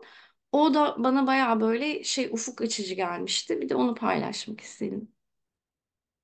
Özden Hocam. Tekrar merhabalar. Hocam önce bir kavram konusunda e, benim sıkıntım var. Onu e, tanışmak istiyorum hepinize. E, ırk kavramını kullanıyoruz. E, yani bu, bu kavram bana biraz garip geliyor. Yani etnik kimlik olabilir ama ırk deyince böyle bana biraz daha böyle hayvan yani hayvanı çağrıştırıyor. Hay, hayvanlar ırk olur ya. E, ben benim kafama tam oturmuyor ırk kavramı. Ha, kullanılması. Birincisi onu söyleyeyim. E, ikincisi e, şimdi 9'da ders, tamam, 9'lara derslere, 9 sınıflara derslere girdim. Takip ettiğim öğrenciler vardı. İşte e, meslek hayatım boyunca. 9'daki şeyin e, çocuğun gözündeki ışığın hocam 11'den sonra kaybolduğunu görüyorum ben. Sürekli. Bunda da 3 unsur e, dikkatimi çekiyor. Bir biziz. Hani öğretmenler. Ama bizim işte elimizi kolumuzu alan müfredat bir şey var. Daha önemlisi işte az önce dile getirdiğiniz sınav denen bir şey var. Yani ben onunla 10. sınıfta bağlantı kurduğum öğrenciyle 11 ortasına geliyorum, bağlantı koparıyorum. Çocuk ne şeye kayıyor? Yani sınav odağına kayıyor. Veya 12'de çocuk tümüyle orada kalıyor. Ee, mesela ben e, ders verilince bana şeyde dağıtımda ben diyorum ki bana 12'de ders vermiyor 12'den. Hocam 12'de sosyoloji ve psikoloji ve mantık dersi veriyorum. O bu ders hocam olmuyor, olamıyor yani. Çocuk sürekli şeyde kalıyor. Kafa sınavda oluyor ve benim dersimde olmuyor. Dolayısıyla ben orada ders yapamıyorum. Ya, başa dönersem hani en temel sorun belki e, şey yani biz bu süreçte çocukları öğütüyoruz. Benim en şeyi e, nedir, e, e, bana dert olan şey aslında bu. Yani çocuğu Ho- biz yaşama sevincini öldürüyoruz. Hocam dayanamayıp araya gireceğim. 9. sınıfa kadar o ışığı nasıl getiriyor çocuk? Onu çok merak ettim. Bilmiyorum hocam yani belki de öncesinde daha da ışık vardı bilmiyorum yani ama 9'da gördüğüm öğrenciyle 12'de hocam çok fark var benim. Aynı öğrenci. Teşekkür ederim. Ee, Tuna Hocam. Ha, Ben, de biraz neşeli şeylerden bahsedeyim istedim. O kadar karamsar geldi ki bir an her şey. Ee, Ben orman anaokulları üzerine çalışıyorum. Belki aranızda duymuş olanlar vardır. Aa, Bu da bir e, alternatif öğrenme anlayışı. Özellikle erken çocuklukta e, benimsenen bir e, anlayış. Hmm, Kendi adımı söylemek gerekirse şu ana kadar e, yaklaşık 10 tane e, Almanya ve Avusturya'da orman anaokulunu gözlemleme şansım oldu. Keşke her yerde böyle bir öğrenme anlayışı olsa diye hep düşünürüm. Ee, çocukların çok daha özgür ve kendi öğrenmelerini e, inşa ettiği bir anlayış. Ee, yetişkin müdahalesinin neredeyse yani e, hi- hiçliğe yaklaştığı desem inanın yeridir. Yani sadece böyle çok çocuklar arasında anlaşmazlıklar olduğu zaman ihtiyaç durumunda böyle bir küçük müdahaleyle buradaki anlayış için söylüyorum. Türkiye'de biraz farklı ilerliyor. Yani çocukların tamamen her şeyi kendi kendine yapılandırdığı bir e, anlayış var erken çocuklukta. E, çok neşeli, çok zevkli. Eğer e, izleme şansınız ol- olursa öneririm. Ama e, kendi e, çocukluk dönemim geldi bir de tabii bu e, araştırmaları yaparken aklıma. E, yani benim aldığım erken çocukluk eğitimi e, tamamen öğretmen odaklı, öğretmenin her şeye karar verdiği, işte tırnaklarımızın temiz olup olmadığı, nasıl oturup nasıl kalkacağımıza öğretmenin karar verdiği, tam böyle işte e, devletin aslında yetiştirmek istediği gizli askerlerin e, şey inşa edildiği bir öğrenme anlayışı. Milli Eğitim müfredatı da zaten bundan çok farklı değil. Öğretmen arkadaşlarımın ben e, kaygılarını gayet anlıyorum. Ama e, şöyle bir e, anekdotu da geçmek isterim. Ben Hacettepe'de okudum. O dönemler bir e, matematik e, hocamız vardı üniversitede, sınıf öğretmenliğinde. E, bize dönem boyunca ilgilenebileceğimiz bir e, konu e, bizim için belirlerdi. Yani belirlerdik birlikte. Ve dönem boyunca hiç not almaksızın e, 14 haftaydı yanılmıyorsam dönem öyle bir şey hatırlıyorum. Biz her hafta onun üzerine bir şeyler inşa ederek işte bu yapılandırmacı yaklaşım dediğimiz şey e, aslında ödeve hep bir şeyler ekleye ekleye giderdik. E, herkes her hafta işte bir tane soru sormak zorundaydı gibi bir kural koymuştu hoca. Kapı hep açık.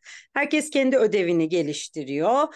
E, bir not alma kaygısı yok. Dönem sonunda şu kadar alacaksınız, şu kadar yaparsanız şu olacak gibi hiçbir şey olmadı.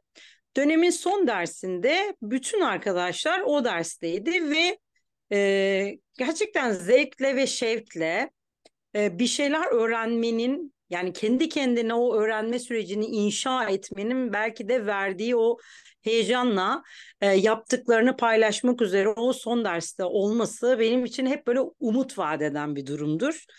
Biraz ben e, üniversite anlayışımız, lisedeki öğrenme anlayışımız, öğretme anlayışımız vesaire yani hepsini şikayet ediyoruz çok doğru. Ama hep böyle içeride, hep sınıf içerisinde sürekli oturarak yani istediğimiz kadar şey izleyelim, istediğimiz kadar şey yapalım. Hep oturarak bir şey yapmak bana çok bunaltıcı geliyor. Ben burada hani arkadaşlarıma da sormak istiyorum. Yani derslerin ne kadarını mesela sınıfın dışarısında ne bileyim bir bahçe olabilir bu başka bir işte ne bileyim e, bir kültürel alan olabilir bir müze olabilir sokak olabilir mahalle olabilir buralarda yapılandırmaya çalışıyoruz. Bence bu bir soru işareti yani Türkiye'de hep sınıfın içerisinde olmak ve öyle Camiye hissetmek. götürüyorlar şimdi canım. Özel Camiye güvenlik var. Camiye götürebilir ama biz nereye götürüyoruzu bir ben hani onlar istediği yere götürsün yani herkes bir şekilde hani e, bir eleştiri oku tabii ki var ama biz ne kadarını hani e, yapıyoruzu ben hep sorarım kendime. Yani ben neredeyim? Çünkü gerçekten sınıf ortamı bence her yetişkinliğe kadar Çocukluktan yetişkinliğe kadar bence hep çok sıkıcıdır ya. Bu benim anlayışım. Birini sürekli anlatıyor olması, arkadaşım bile olsa hep birinden almaya çalışmak çok sıkıcı bence. Bankacı Böyle- bankacı sistem. Evet yani böyle hani bir karşılıklılıktan bahsetmiyorum ama ilham veren bir şeyin olması lazım. Bence o ilham veren şey sınıfta değil yani her zaman. Ee, Böyle. İşte bir şey sorabilir miyim? hı hı, Tabii evet. Ee, lütfen. ben e, Almanya'da bu Kindergarten e, da e, öğretmenlerden birisiyle bir görüşmem olmuştu. Biz burada çok o, dönemleri çok mutlu geçirmelerini sağlıyoruz. Çok yaratıcı işler, güzel işler yapıyoruz ama birinci sınıfa gittikleri andan itibaren bütün sistemi tepetaklak ediyorlar diye bir şey söylenmişti. Bunun için böyle bir gözlem var mı? Orman anaokullarından çıktıktan sonra ne oluyor? Vallahi hocam ben açıkçası şöyle düşünüyorum. 6 senede 6 senedir bir kârdır. Yani her zaman hayata bir sürü şey katar diye düşünüyorum. O 6 senenin e, geri kalanını sınıfta geçirmektense hani e, dışarıda olmak bir şey. E, bence öyle değil. Ben burada ilkokullarda da dönemde en az 5-6 defa, 7 defa, 8 defa bilmiyorum tam sayısını ama okuldan okula değişiyor. Çocuklarım böyle ellerinde otobüs bileti, metro biletleriyle bir yerlere götürüldüğünü görüyorum. Kendi çocuğumdan da görüyorum. Tabii ki de daha ciddi bir şeye geçiyor. e, evreye geçiyor. İlkokulla beraber hani böyle bir, bir çocuklara yetişkin e, kimliği atlediliyor ama yine de hani çocuklar dönemde en az 3-4 kere kütüphaneye gidiyorlar. 3-4 kere sınıflarıyla tiyatroya gidiyorlar. Bir kere anaokulunda bile çocuklar kampa gidiyorlar ailelerinden bağımsız olarak iki günlüğüne hafta sonu kampa gidiyor çocuklar. Üçüncü sınıftan dördüncü sınıfa geçerken beş gün kampa gidiyorlar. Yani demek istediğim şey hani böyle bura şöyledir, ora öyle değil ama hani böyle sınıf ortamında her şeyi yapmaya çalışıyor olmak zaten başlı başına böyle yetişkinle e, işte ne bileyim ya da öğrenenle öğreten arasında bir duvarı e, baştan set etmek oluyor. Çünkü orada böyle hani hep Hani birine bakıyorsunuz illaki. İstediğimiz kadar sınıf düzenini değiştirelim. Ee, o yüzden ben yani e, hangi eğitimin hangi kademesinde olursa olsun e, birazcık hani o e, öğrenme alanlarını değiştirmenin öğreten öğre, öğrenen arasındaki o ilişkiyi de e, olumlu yönde etkileyeceğine inanıyorum. Aslan Hocam, sonra da Osman Hocam ve de ardından Yasin Hocam. Ee, Ben e, e, önceki el kaldırmamı gördünüz herhalde. Şu an söz istemedim hocam ama. Öyle mi? Tamam. Tamam. Ee, o zaman e, Osman Hocam, sonra Yasin Hocam. Yani e, Tuna hocamın söylediklerinde doğru hani e, eğitimi farklı alanlarda da e, işlemek lazım. Dersleri farklı alanlarda, farklı mekanlarda da işlemek lazım ama hani devlet okulları Türkiye'de bu şeyi, bu e, şansı, hakkı öğretmene tanımıyor. Mesela bir öğretmen bir öğrenciyi dışarı çıkartmak istediğinde hani kendi tecrübem üzerinden söyleyeyim. Hani ben öğrenciyi şehre götürmek istiyorum, kütüphaneye götürmek istiyorum. Araba tutmam lazım. İşte bunun parasını devlet karşılamıyor. Çocuklardan para top, velilerden para toplamam lazım. Ya da çocuklarla pikniğe gitmek istiyorum. İşte müdür bana her öğrenciye işte verilecek ıslak imzalı bir kağıt veriyor. Tüm veliler bunu imzalayacak. İşte çocuğun başına bir şey gelirse sorumlu sensin diyor bana. Bu kağıtta da onların izin verdiği söyleniyor gibisinden cümleler kuruyor. Yani evet mekan değiştirmek e, doğru çok şey katabilir eğitim özellikle çocukluk döneminde ama e, bir kere zaten devletin kendisi mekanın değişmesini istemiyor. Yani bir mekan olarak okulu istiyor. Kendi iktidarını kurduğu mekanı istiyor yani. Başka bir mekanda ders işleme ders işlenmesine kendi yasaları gereği pek izin vermiyor.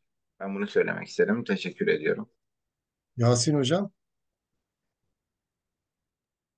Ya hocam konuyu eksenden de çok ayırmak istemem ama Esra hocam da sorduğu için söyleyeyim. Hocam biz 10 yıldır haftanın iki günü anaokulda da ilkokulda da ormanda geçiriyoruz. Milli eğitime bağlı okullarız. Hani Almanya'ya gitmeye gerek yok. Bekleriz uygun olduğunuzda. Ee, çok kolay değil ama çok zor da olmadığını düşünüyorum bunları yapmanın. Ee, ve çocuklar üzerinde inanılmaz etkileri oluyor. Ee, Almanya'da da e, çocuklar ormana gittiğinde bütün veliler kağıt imzalıyorlar. Bizde de imzalıyorlar. O tür bir evrak işi yapmak gerekiyor maalesef. Ee, bir de buradan şeye geleceğim hocam. Başta şey dediniz ya, ya eleştirel pedagoji okulu eğitimi kabul ediyor diye başladık ya. Bence e, 1950'lerden geldiğimiz noktada okulu bence artık sorguluyor olmak lazım. Yani dünyanın geldiği noktada belki var olan haliyle yani sanayi devrimi ve ulus devletle birlikte ortaya çıkmış okulu belki artık reddetmek gerekiyor. Çünkü e, çocukların ihtiyacı olan böyle bir eğitim değil artık ve okul binaları değil. E, eleştirel pedagojinin yani e, dedim yani kavramları yeniden ele almak lazım. Öğrenci, öğretmen, okul bunlar ne demek ve hala bunlara ihtiyacımız var mı bizim? Oralara da bir tekrar eleştirel gözle bakmak lazım diye düşünüyorum. Şimdi tam da bu pandemi e, başladığında e, belki hatırlarsınız Agamben bir e, çok sert bir yazı yazmıştı. Yani ben dijital eğitim, uzaktan eğitim vermeyi reddediyorum. Çünkü üniversite eğitimi kampüste olur. Yani kampüs sadece e, ders alınan ya da verilen bir yer değil. İşte öğrencilerin sosyalleştiği, başka türlü ilişkilerin geliştiği ve işlevselliklerin olduğu yani bir geleneğin yeniden üretildiği bir mekan e, demişti ve e, uzaktan eğitim e, vermeyeceğim e, demişti. Daha sonra pandemi döneminde şeyi gördük. E, öğren okula gidemeyen öğrencilerin e, evlerde başlarına gelen sorunlar. Birinci soru e, veliler çok sıkıldılar. İkinci soru e, o çocuklara e, velilerin bir takım şeyler vermesi gerekiyordu eğitimle ilgili. Veremeyen e, veliler oldu formasyonları yetmediği için. E, ama en önemlisi çocuklar evlerde sıkıldılar ve e, sosyalleşme sorunu yaşadılar. Ve sosyalleşmeleri de okulda diğer öğrencilerle yaşıyorlar. E, e, ve e, ekrandan öğretmen onları kesmedi. Yani öğretmenin bakışı, tavırları, duruşu, elbisesi, işte ona yaklaşımı vesaire öğrencinin sosyalleşmesinde çok önemli olduğu ortaya çıktı. Ama bu demek değildir ki e, eğitim sadece okulda olur. Yani e, 1950'lerden itibaren işte öğrenme e, ortamlarının çeşitlendirilmesi söz konusu oldu. Hatta Ivan İliç 1970'te okulun e, okulsuz toplum kitabını yazdığında e, okul yerine e, işte telefon, posta gibi bir takım e, araçların kullanılarak insanların e, hangi alanda ihtiyaç duyuyorsa e, bilgi ve becerilerini te- değiş tokuş edebileceği bir sistem olabileceğini iddia etti. Bu antikapitalist bir eğitim olacaktı. Yani e, okulsuz toplum e, bir, bir bakıma toplumun okulsuzlaştırılabileceğine şeydi. Fakat geldiğimiz noktada şunu gördük. Yani hiçbir yerde okullar ortadan kalkmadı. Hatta okullar ormanlara doğru, okullar işte hafıza mekanlarına, müzelere doğru ve çok çeşitli mekanlara doğru e, ne diyelim uzadı ya da çeşitlendi ya da e, genişledi. Tabii ki şey tartışmaları çok oldu bu pandemi döneminde. Dijital eğitim yani bu eğitim 4.0 e, akımı mesela geleceğin eğitiminin tümüyle dijital olacağını iddia ediyor. Çünkü dijital eğitimle işte e, okul binası kurmanıza gerek yok. Hatta öğretmene gerek yok. Hatta e, materyale bile gerek yok. İşte dijital eğitimle işte internetten bir sürü materyal bulmak suretiyle paylaşılabileceğini e, vesaire söylediler. E, bu başka bir hikaye Eğitim 4.0. Belki ileride şeyi gelince konuşuruz. E, fakat bu okul e, bence e, yani e, giderek kötülenmeye başladı. Özellikle e, kamu okulları. Yani bunun biraz tehlikeli bir yaklaşım olduğunu düşünüyorum ben. E, çünkü e, okulların e, paralelinde özellikle yakın geçmişte e, gelişen bir takım eğitim, sözde eğitim kurumları, dershaneler gibi, kurslar gibi maalesef öğrencilerin kamusal okulu aşağılamaya başladıkları bir süreç yarattı.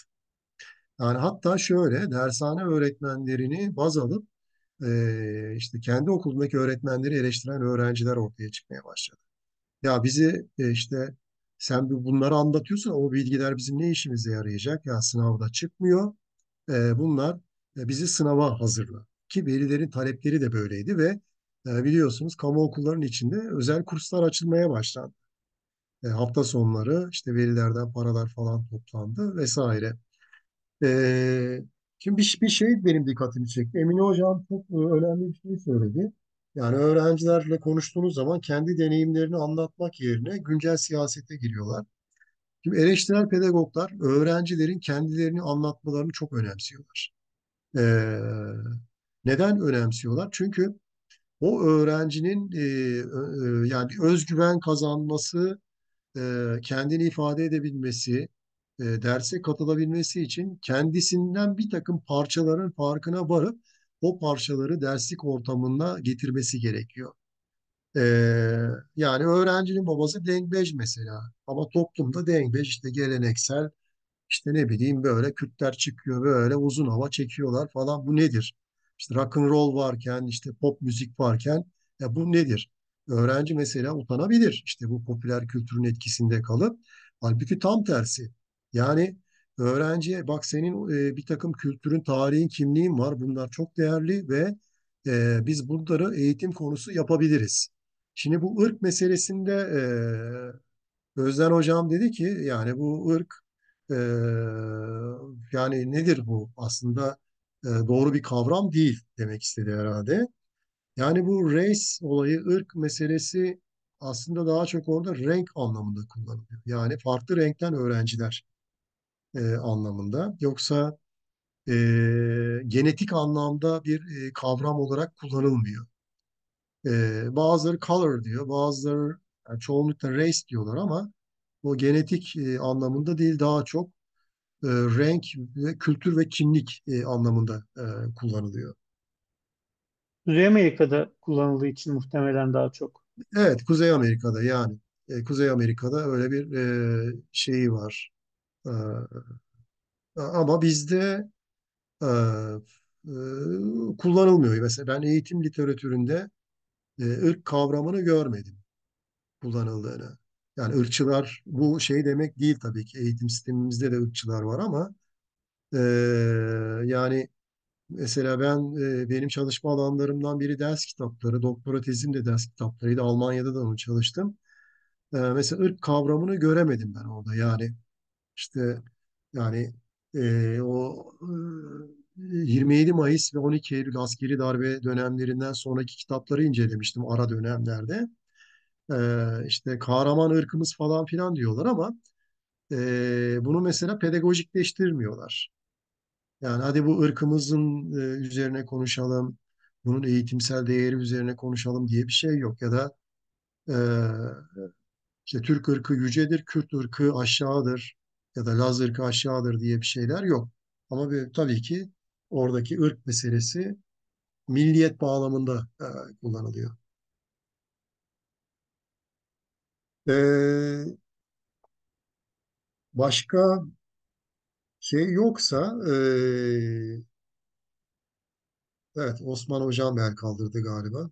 Başka bir konuya girecektim de. Buyurun Osman Hocam. Hocam ben şey sormak istiyorum. Dersin ilk başlarında e, Paulo Freire'nin işte İngiliz Marksist okulunun okulu tarafından Marksist olarak kabul edilmediğini söylemiştiniz de Evet. hani e, evet pro- e, Freire Ortodoks bir Marksist değil de hani bunun dayanağı ne oluyor tam olarak Freire'yi işte Marksist olarak tanımlamamalarının nedeni Evet merak ediyorum. İngilizler e, İngiliz e, Marksist Eğitim Okulu var. Ağırlıkta da e, bir dergi etrafında toplandılar. Journal of Critical Education Studies, Study Policies miydi? Öyle bir dergiydi. Ee, onlar e, Freire'e hatta onlar e, pedagoji kavramını da kullanmıyorlar. Ee, education diyorlar. Critical education, critical pedagogy demiyorlar. Ee, nedeni şu, e, Freire'yi fazla revizyonist buluyorlar. Neden? Çünkü Freire'nin sınıfsal bir bakış açısı olduğunu düşünmüyorlar. İ- İngilizlerin İngilizlere göre e, eleştirel eğitim e, eğitim sistemi içerisinde temel olarak e, emek kavramı labor üzerine kurulmalı e, ve onun üzerinden gitmeli. Freire ise emek emek kavramı yok onda. hatta artı değer falan yok. Ee, hatta bu işte kapitalizmin yeniden üretilmesi vesaire onda yok diyorlar. Yani Freire'nin eğitimi fazla kültürelleştirdiğini iddia ediyorlar ve e, bu kültürelleştirmenin e, Marksist eğitim tezlerini kullanmadığını söylüyorlar. Yani Marksist eğitim tezleri mesela işte altyapı üst yapıyı belirler. Yani eğitim üst yapı kurumudur Ee, ve işte kapitalist e, üretim ilişkileri eğitimin içeriğini, biçimini, her şeyini belirler. Michael Apple, e, Freire'den kalkarak, e, hatta Henry Giraud da öyle, e, eğitimin bir göreli özelliği olduğunu ki bu Althusser'in bir tezi aynı zamanda, göreli özelliğini olduğunu söylüyor E, ve e, eğitimde işte ırktır, e, cinsiyettir, kimliktir, e, e, bu tür şeylerin e, kendi mantığı ve dili olduğuna inanıyorlar. Dolayısıyla her şeyi e, ekonomiye indirgemenin ya da ekonomist mantığın eğitimdeki zenginlikleri, farklılıkları, çeşitlilikleri e, anlayamayacağını iddia ediyorlar. Yani İngilizler bu konuda çok ortodoks davranıyorlar. E, ve e, Kuzey Amerika'da belki şey hariç, Peter McLaren hariç e, daha bir e, ortodoks yaklaşım e, gidiyorlar. Yani bizde de bu geçmişte on, mesela 68 hareketinde Harun Karadeniz'in tezi vardı. Eğitim üretim içindir. Ama bu e, Kuzey Amerikalı eğitimciler özellikle onlar yani eğitimde eğitim üretim için dedir dediğinizde eğitimin ideolojik işlevlerini ya da kültürel açılımlarını e, görmemiş oluyorsunuz diye iddia ediyorlar. Yani mesela e, bizim eğitim sistemimiz içinde bir Kürt sorunu var. İşte mesela bir ana dilinde eğitim talebi var.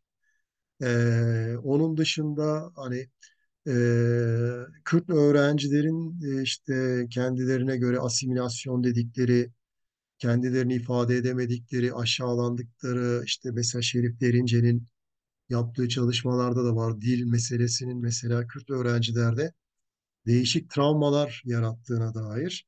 E, bunlar mesela e, İngilizlerin Marksist eğitim yaklaşımı içerisinde kolaylıkla e, anlaşılamayacak özgünlükler içeriyor. E, dolayısıyla e, şimdi e, şöyle özel bir bilgi vereyim. Bu işte İngiliz Marksistler tabii onların işte Yunanistan'da, Polonya'da, İtalya'da şeyleri de var. Dünyanın başka yerlerinde. Temmuz ayında Ankara Üniversitesi'nde onların şeyleri olacak. Onlar daha böyle hani e, Critical Education Conference, konferans kavramı biraz Marksizan bir kavram. E, öyle kullanıyorlar. Bizim kongremizde daha böyle bir e, ne diyelim e, daha bir eleştirel pedagojik bir etkinlik olacak. Yani işte orada yaratıcı dans da var, drama da var, travma olayı da var. Ya bunlar İngilizlere çok ifade eden şeyler değil. Mesela Glenn Rikovski var. Onların şeylerini, ya, o, bu adamın çalışmalarını okudum. Tümüyle Marksist emek kavramı üzerinden bir eğitim analizi yapıyor.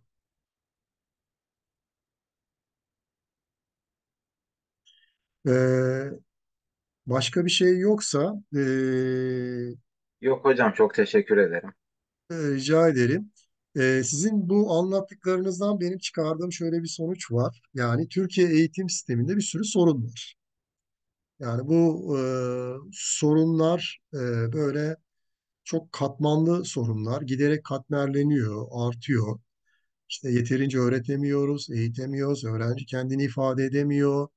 İşte bu sınav meselesi e, çok kafalarına takılıyor. E, öğrenciler derslerden zevk almıyor. İşte Emine hocamın söylediği şey ilginç. Yani sıraların yere sabit olması, ee, ya da işte Osman Hocam'ın söylediği yani öğrencileri dışarıdaki bir etkinliğe götürmek için bir sürü izin almak gerekiyor, riske girmek gerekiyor e, vesaire. Ama bütün bunları böyle topladığınız zaman yani biz öğrencilerimizi iyi eğitemiyoruz. O zaman neden eğitemiyoruz? E, bu soru da işte eleştirel pedagoglara göre yani yönteminizi değiştireceksiniz. Yani bunun için öncelikle felsefeyi değiştireceksiniz. Yani karşınızda öğrenciyi sabit bir kimlik olarak da görmemek gerekiyor. Hani bu melezlenme kavramı e, son dönemde literatürde çok tartışıldı. Yani e, artık bu küresel ilişkiler ortamında kimlikler o kadar birbirine girmeye başladı ki ilişkiler çeşitlendi vesaire. E, bu melezlenme alanları giderek dinamikleşmeye başladı. Hatta ben bu Almanya'da yaptığım çalışmada e, Alman İslam din dersi kitaplarını bu Homi Bhabha, Homi Bhabha değil mi? Yanlış telaffuz etmiyorum. Onun üçüncü mekan diye bir kavramı var. Ben de bu ders kitaplarının üçüncü mekan ya da üçüncü alan olduğunu iddia ettim. Yani ne Alman ne İslam. Hem Alman hem İslam. Hatta sadece Alman ve İslam değil. Başka şeyler de var içinde. Dolayısıyla bu e, melezlenme biliyorsunuz bu modernist eğitim sistemlerinin e, ne diyelim e, hiç hoşlanmadıkları bir kavram. Yani işte modernist e, kimlik anlayışı işte tekçidir, asimilasyoncudur vesaire E, ve e, müfredatlarda işte bir, bir hedef belirler. Bu hedefe doğru öğrencileri e, eğitmeye çalışır. Ama hayat ne müfredatlara sığar, ne ders kitaplarına sığar, ne de öğretmen öğretmenlerin anlattıklarıyla sınırlıdır. Yani öğrenci bir kere e, dersliğe boş gelmiyor, e, yanında bir şeyler getiriyor ve aynı zamanda e, öğretmenle girdiği işte müzakerelerde, pazarlıklarda e, bazı şeyleri değiştirme imkanı elde edebiliyor. Ki eleştirel pedagoglar buna açık. Yani e, birçok eleştirel pedagog e, kendi derslerinde yapılandırılmış müfredat ya da programlara karşı çıkıyorlar. Ve bunu öğrencilerle birlikte inşa ediyorlar. E, bunun avantajı şu, e, öğrenci müfredatı öğretmenle birlikte inşa etmeye başladığında neyi öğrenmek istediğini de ortaya koyuyor ki bu çok önemli. Hatta neyi nasıl öğrenmek istediğini de söylüyor ki bu özneleşmenin ilk adımı. Nesneleşmeye karşı. Hani bankacı eğitim nesneleştiriyor. Problem koyucu eğitim özneleştiriyor. E, bu çok önemli. E, başta şey demiştim. Eleştirel pedagoglar ders kavramını kullanmaktan kaçınırlar. Çünkü ders e, e, hiyerarşik bir ilişkiyi ifade ediyor. Yani öğretmen gelecek bize bir ders verecek. Hayır. Yani biz birlikte öğreneceğiz. E, dolayısıyla e, birlikte öğrenme diyalojik bir ilişkidir. E, gelişmelere açıktır. Sürprizlere açıktır. E, ve nereye gideceğini de iki tarafta e, çoğu zaman bilemez. E, bu Cahil Hoca kitabını okumuşsunuzdur. Yani e, bir öğretmen hiçbir şey bilmeden de eğitebilir. Yani bu müthiş bir tez. E, ama tabii mesela Ayra Şor bu güçlendiren eğitim kitabında göreceğiz. E, e, şey diyor, ben tabii ki bir hazırlık yapıyorum derse girmeden önce. Yapmak gerekiyor ama e, yaptığım hazırlıklar çoğu zaman değişiyor. Hatta bazı hazırlıklar boşa gidiyor. E, bu şunu gösteriyor yani e, öğrenciler e, aslında e, değişime açık e, aktörler. E, ama nasıl değiştireceğinizi bilmeniz lazım. E, fakat tabii ki öğretmenler de değişiyor e, ve e, bu değişim aslında o, o dersin e, şeylerinden, e, çıktılarından ya da avantajlarından biri oluyor. Yani ben kendi e, akademik deneyimden biliyorum. E, bir dönem boyunca işte e, öğrencilerle bir araya geliyorsunuz. İşte ders işliyorsunuz, sınav yapılıyor. İşte ders dışında odanıza geliyorlar, konuşuyorsunuz. E, onların dertlerini dinliyorsunuz falan filan. E, değiştik diyorlar ama e, sorduğunuzda mesela nasıl değiştin, e, sende değişen nedir? Çok kolay cevap veremiyorlar.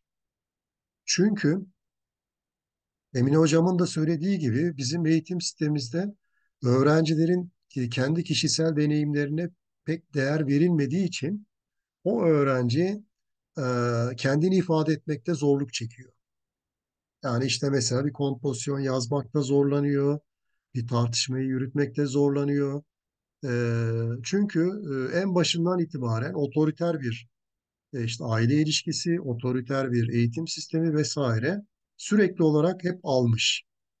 Kendinden e, özgün bir şey üretmesi engellenmiş. Ona ne verilmişse o alınmış. Tam bu noktada aklıma şey geldi. 2004'te biliyorsunuz müfredatlar değiştirilmişti. Ziya Selçuk o zaman Talim ve Terbiye Kurulu Başkanıydı ki daha sonra e, Milli Eğitim Bakanı oldu. E, müfredatları değiştirdiler. İlkokul, ortaokul ve şunu söylediler. Biz öğrencileri proje ve performanslarla e, e, aktif hale getireceğiz ve öğrenciler e, daha yaratıcı ve yenilikçi olacaklar. E, işte eşim o dönem şey demişti, bütün öğretmenler hatta artık daha fazla çalışıyoruz. Çünkü öğrenciler o kadar çok, o kadar çok proje ve performans yapıyor ki işte portfolyo, ürün dosyası tutuyoruz, öğrencilerin bir sürü şeylerini değerlendirmek zorunda kalıyoruz. E, öğrenciler çok mutluydu o dönem. İşte projeler, performanslar, etkinlikler, yaratıcı e, şeyler, e, şeyler e, ne diyelim, e, formasyon kazandırıcı e, etkinlikler vesaire. Fakat o dönemde şu ortaya çıktı. Bu öğrencilerin proje ve performansları sınavlarda, merkezi sınavlarda çıkmıyor. Yani ölçme değerlendirme olayı e, bu yeni müfredatlarda dikkate alınmamıştı. Öğrenci iyi gitar çalıyormuş ama merkezi sınavlarda iyi gitar çalmanın hiçbir şeyi yoktu. Orada da matematik, kimya, fizik vesaire problemleri soruluyordu. Ve e, bir süre sonra o öğrenci merkezli pedagojiden vazgeçti bakanlık. Çünkü yürümüyordu. Eski sisteme geri dönüldü. Evet Tuna Hocam size de söz vereyim ondan sonra bu akşam kapatalım.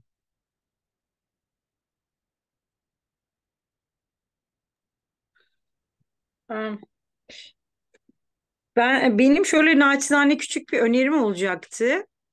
Ee, Yasinlerin e, okulu hocam e, yani Türkiye'deki e, sistem içerisinde başka bir şekilde ayakta kalmaya çalışan bir okul. Belki biz hani çok kısa ileriki dönemlerde o da isterse böyle kısaca bir okullarında hani e, okul iklimini nasıl inşa ettikleriyle ilgili bir küçük e, şey yapabilir mi? Hmm, sonuç değil de hani bir küçük bir sohbet. Çünkü o bildiğim kadarıyla orada yetişkin çocuk, yetişkin öğrenen arasındaki ilişkiler farklı bir şekilde e, inşa ediliyor. E, bir de e, müfredata hepimiz bağ, bağlı kalmak durumundayız bir şekilde ama o bağlı kalmak durumunda olduğumuz müfredatı nasıl mesela e, kendilerince yorumluyorlar? Ben onu merak ediyorum e, ilkokulda özellikle. E, çünkü erken çocukluk biraz daha oyun temelli olduğu için orada işler daha kolay ama ilkokulda işler daha da zorlaşıyor. Belki Esra hocamın söylediği şeye de bir yanıt olabilir bu. E, bir de benim aklıma şu geldi. Üniversitede e, bir hocamız e, bize şey getirmişti. E, e, ne syllabus'ın Türkçesini özür dilerim hatırlayamadım. Program diyebiliriz. İzlen, izlence, izlence izlence, programı. izlence e, bize şey demişti. E, bu konuları işlememiz gerekiyor dönem boyunca. E, kendisi e, sanırım 7 ya da 8 tane e, ders hazırlamıştı. Geri kalan 6 tane dersi herkesin kendisi e, inşa edecek şekilde ne öğrenmek istediğini inşa edecek şekilde bizim planlamamızı istemişti. Benim hayatımın galiba e, yani üniversite öğrenim hayatımın en zor sorusuydu. Çünkü bence bir öğrenciye e, neyi nasıl öğrenmek istiyorsun diye sormak yani burada konuştuğumuz onu özne haline getirmek çok çok çok zor. Öğrenci açısından zor. Öğretmen açısından bence çok kolay. Bence bu soruyu sormakla da başlanabilir. Yani bir, bir öğrenciye sen bu dönem ne öğrenmek istiyorsun? Bu ders kapsamında ne öğrenmek istiyorsun diye sormak öğrenciler açısından e, birazcık e, şey olabilir. Hem kendini iyi hissettirecek hem de aslında yani bunun ne kadar zor bir süreç olduğunu, o inşa etmenin ne kadar zor olduğunu e, anlayabilmesi açısından e, ve sorgulayabilmesi açısından bir başlangıç olabilir diye düşünüyorum. Ee, teşekkürler. Bunu daha sonra konuşuruz umarım. Hı hı. Ee, bitirmeden önce Burhanettin Hocam sizin söyleyeceğiniz bir şey var mı? Ee, Ben çok zevkle dinledim. Yeni eve girebildim. Özür dilerim ses gelmesin diye oradan ortam değiştiriyorum. Ee, sonraki şeylerde, sunumlarda daha belki katkılarım olabilir, sorularım olabilir. Ee, kaçırdığım çok az yer oldu ama çok Hı güzel bir gün oldu. Emeğinize sağlık. Hı hı. Ee, o zaman diyeceğim yok. Kendi deneyimlerimi paylaşmak isterim tıpla ilgili, iyi psikiyatri. olur. Özellikle e, aktarmak isterim. Özellikle belki. psikiyatrik psikiyatrinin e, katkıları e, çok şey olacaktır. Ee, hem iletişim becerileri açısından hem de psikiyatrinin hem e, lisans eğitimi hem uzmanlık Hı hı. eğitimi hem sonraki süreçte Frereci bakışın e, eksikliğini ben çok fark ettim. Evet aktif Hı öğrenme çok tartışıldı. Probleme dayalı öğrenme. Türkiye'de 9 Eylül'de başladı. Hani orada hiç frene geçmez ama bakıldığında ilk çekirdeğini frene attığı şeylere daha sonra başkalarının hı. sahiplenişiyle biraz da o bahsettiğin daha bağlamını ele alan yanından sıyrılmış tekniğe indirgelmiş haliyle örneklerini gördük. Hibrit eğitimler oldu. Ee, ve e, sonuçta o biraz o bütünün içinde bir tür e, bütünü etkilemeyen ama bütün içinde bir tür e, durumu kurtarmak için hibrit modeller yürütüldü. Ama nihayetinde eğitimin genel yapısını, dokusunu değiştirecek bir ağırlığı olmadı 9 Eylül ve 1-2 hı. üniversite dışında. Zamanla onlar da eğitimin genel yapısındaki değişmeyle beraber etkili figürler olmadılar. Çünkü e, dediğin gibi TUS sınavlarında o oradan mezun olmanın dezavantajları ortaya hı. çıkıyordu. E, psikiyatri eğitiminde özellikle o Flexner döneminden kalan usta çıraktan uzaklaşma çok belki başarılabilmiş değil. Birlikte öğrenme, e, öğretmenin de öğrenci olabilmesi, diyalojik yapı her ne kadar katılımcılık adına girse de tam da Frereci anlamıyla girmiş değil. Bankacılık çok sinmiş şeye, ruha.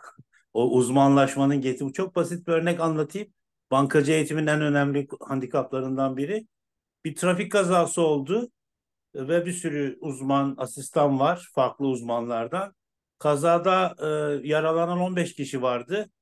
E, hepsinin hemen hemen göz travması vardı. Bir sürü cerrah vardı ama iki göz cerrahı vardı. Benim uzmanlık alanım değil. O onun işi dediği için birçok hasta kaybedildi. Hani bir Hı hı. parçanın uzmanlaşmanın kulağa hoş gelse de aslında bütünü kaybetme Evet. açısındaki önemli eğitimde çok belirgin halen Frere anlayış biraz onu da ortadan kaldırıyor. İnsanın her şeyi bilebildiği, Hı hı. e, her şeyden pay alabildiği. O yüzden hani belki bunları şimdilik söyleyebilirim.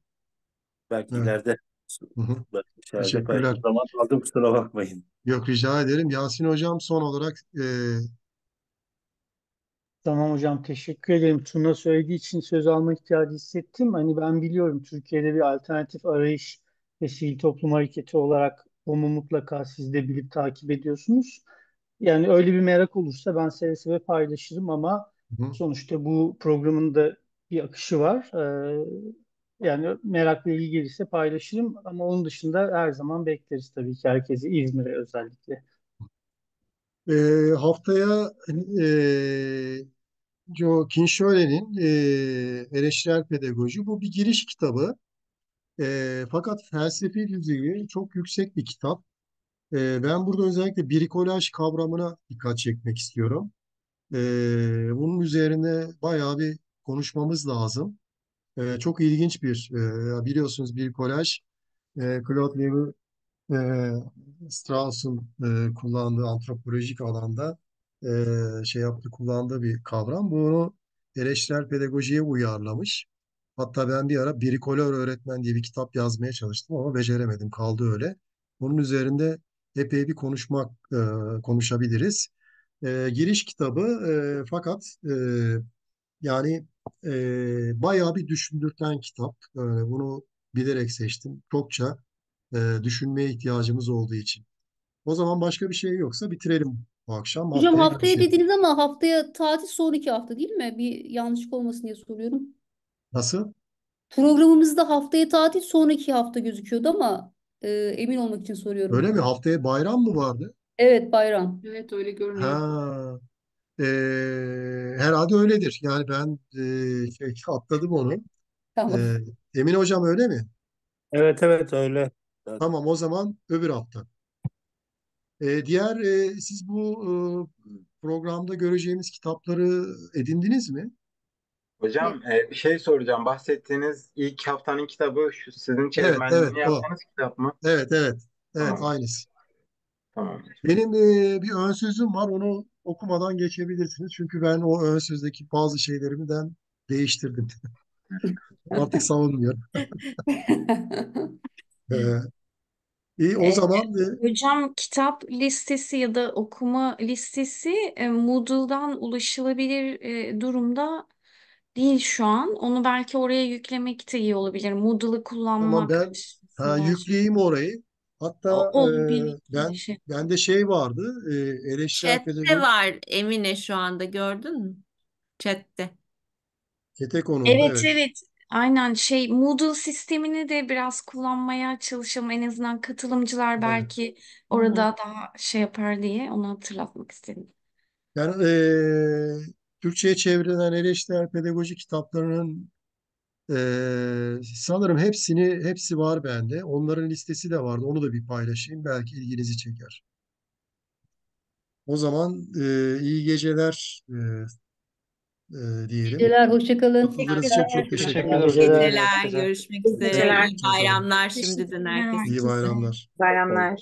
İyi Kemal bayramlar. Hocam, Görüşürüz. Efendim. Kendinize iyi bakın. Kemal Hocam siz kapattığınızda e, o bir süre kaydetmek için bekleyecek. O sırada bilgisayarınızı kapatmayıp o şeyin dolmasını beklerseniz iyi olur. Tamam. Kaydedin şey tamam. Kaydetmesi için. Aynen Tamam. evet hocam. Tamam. İyi geceler arkadaşlar. Hoşçakalın.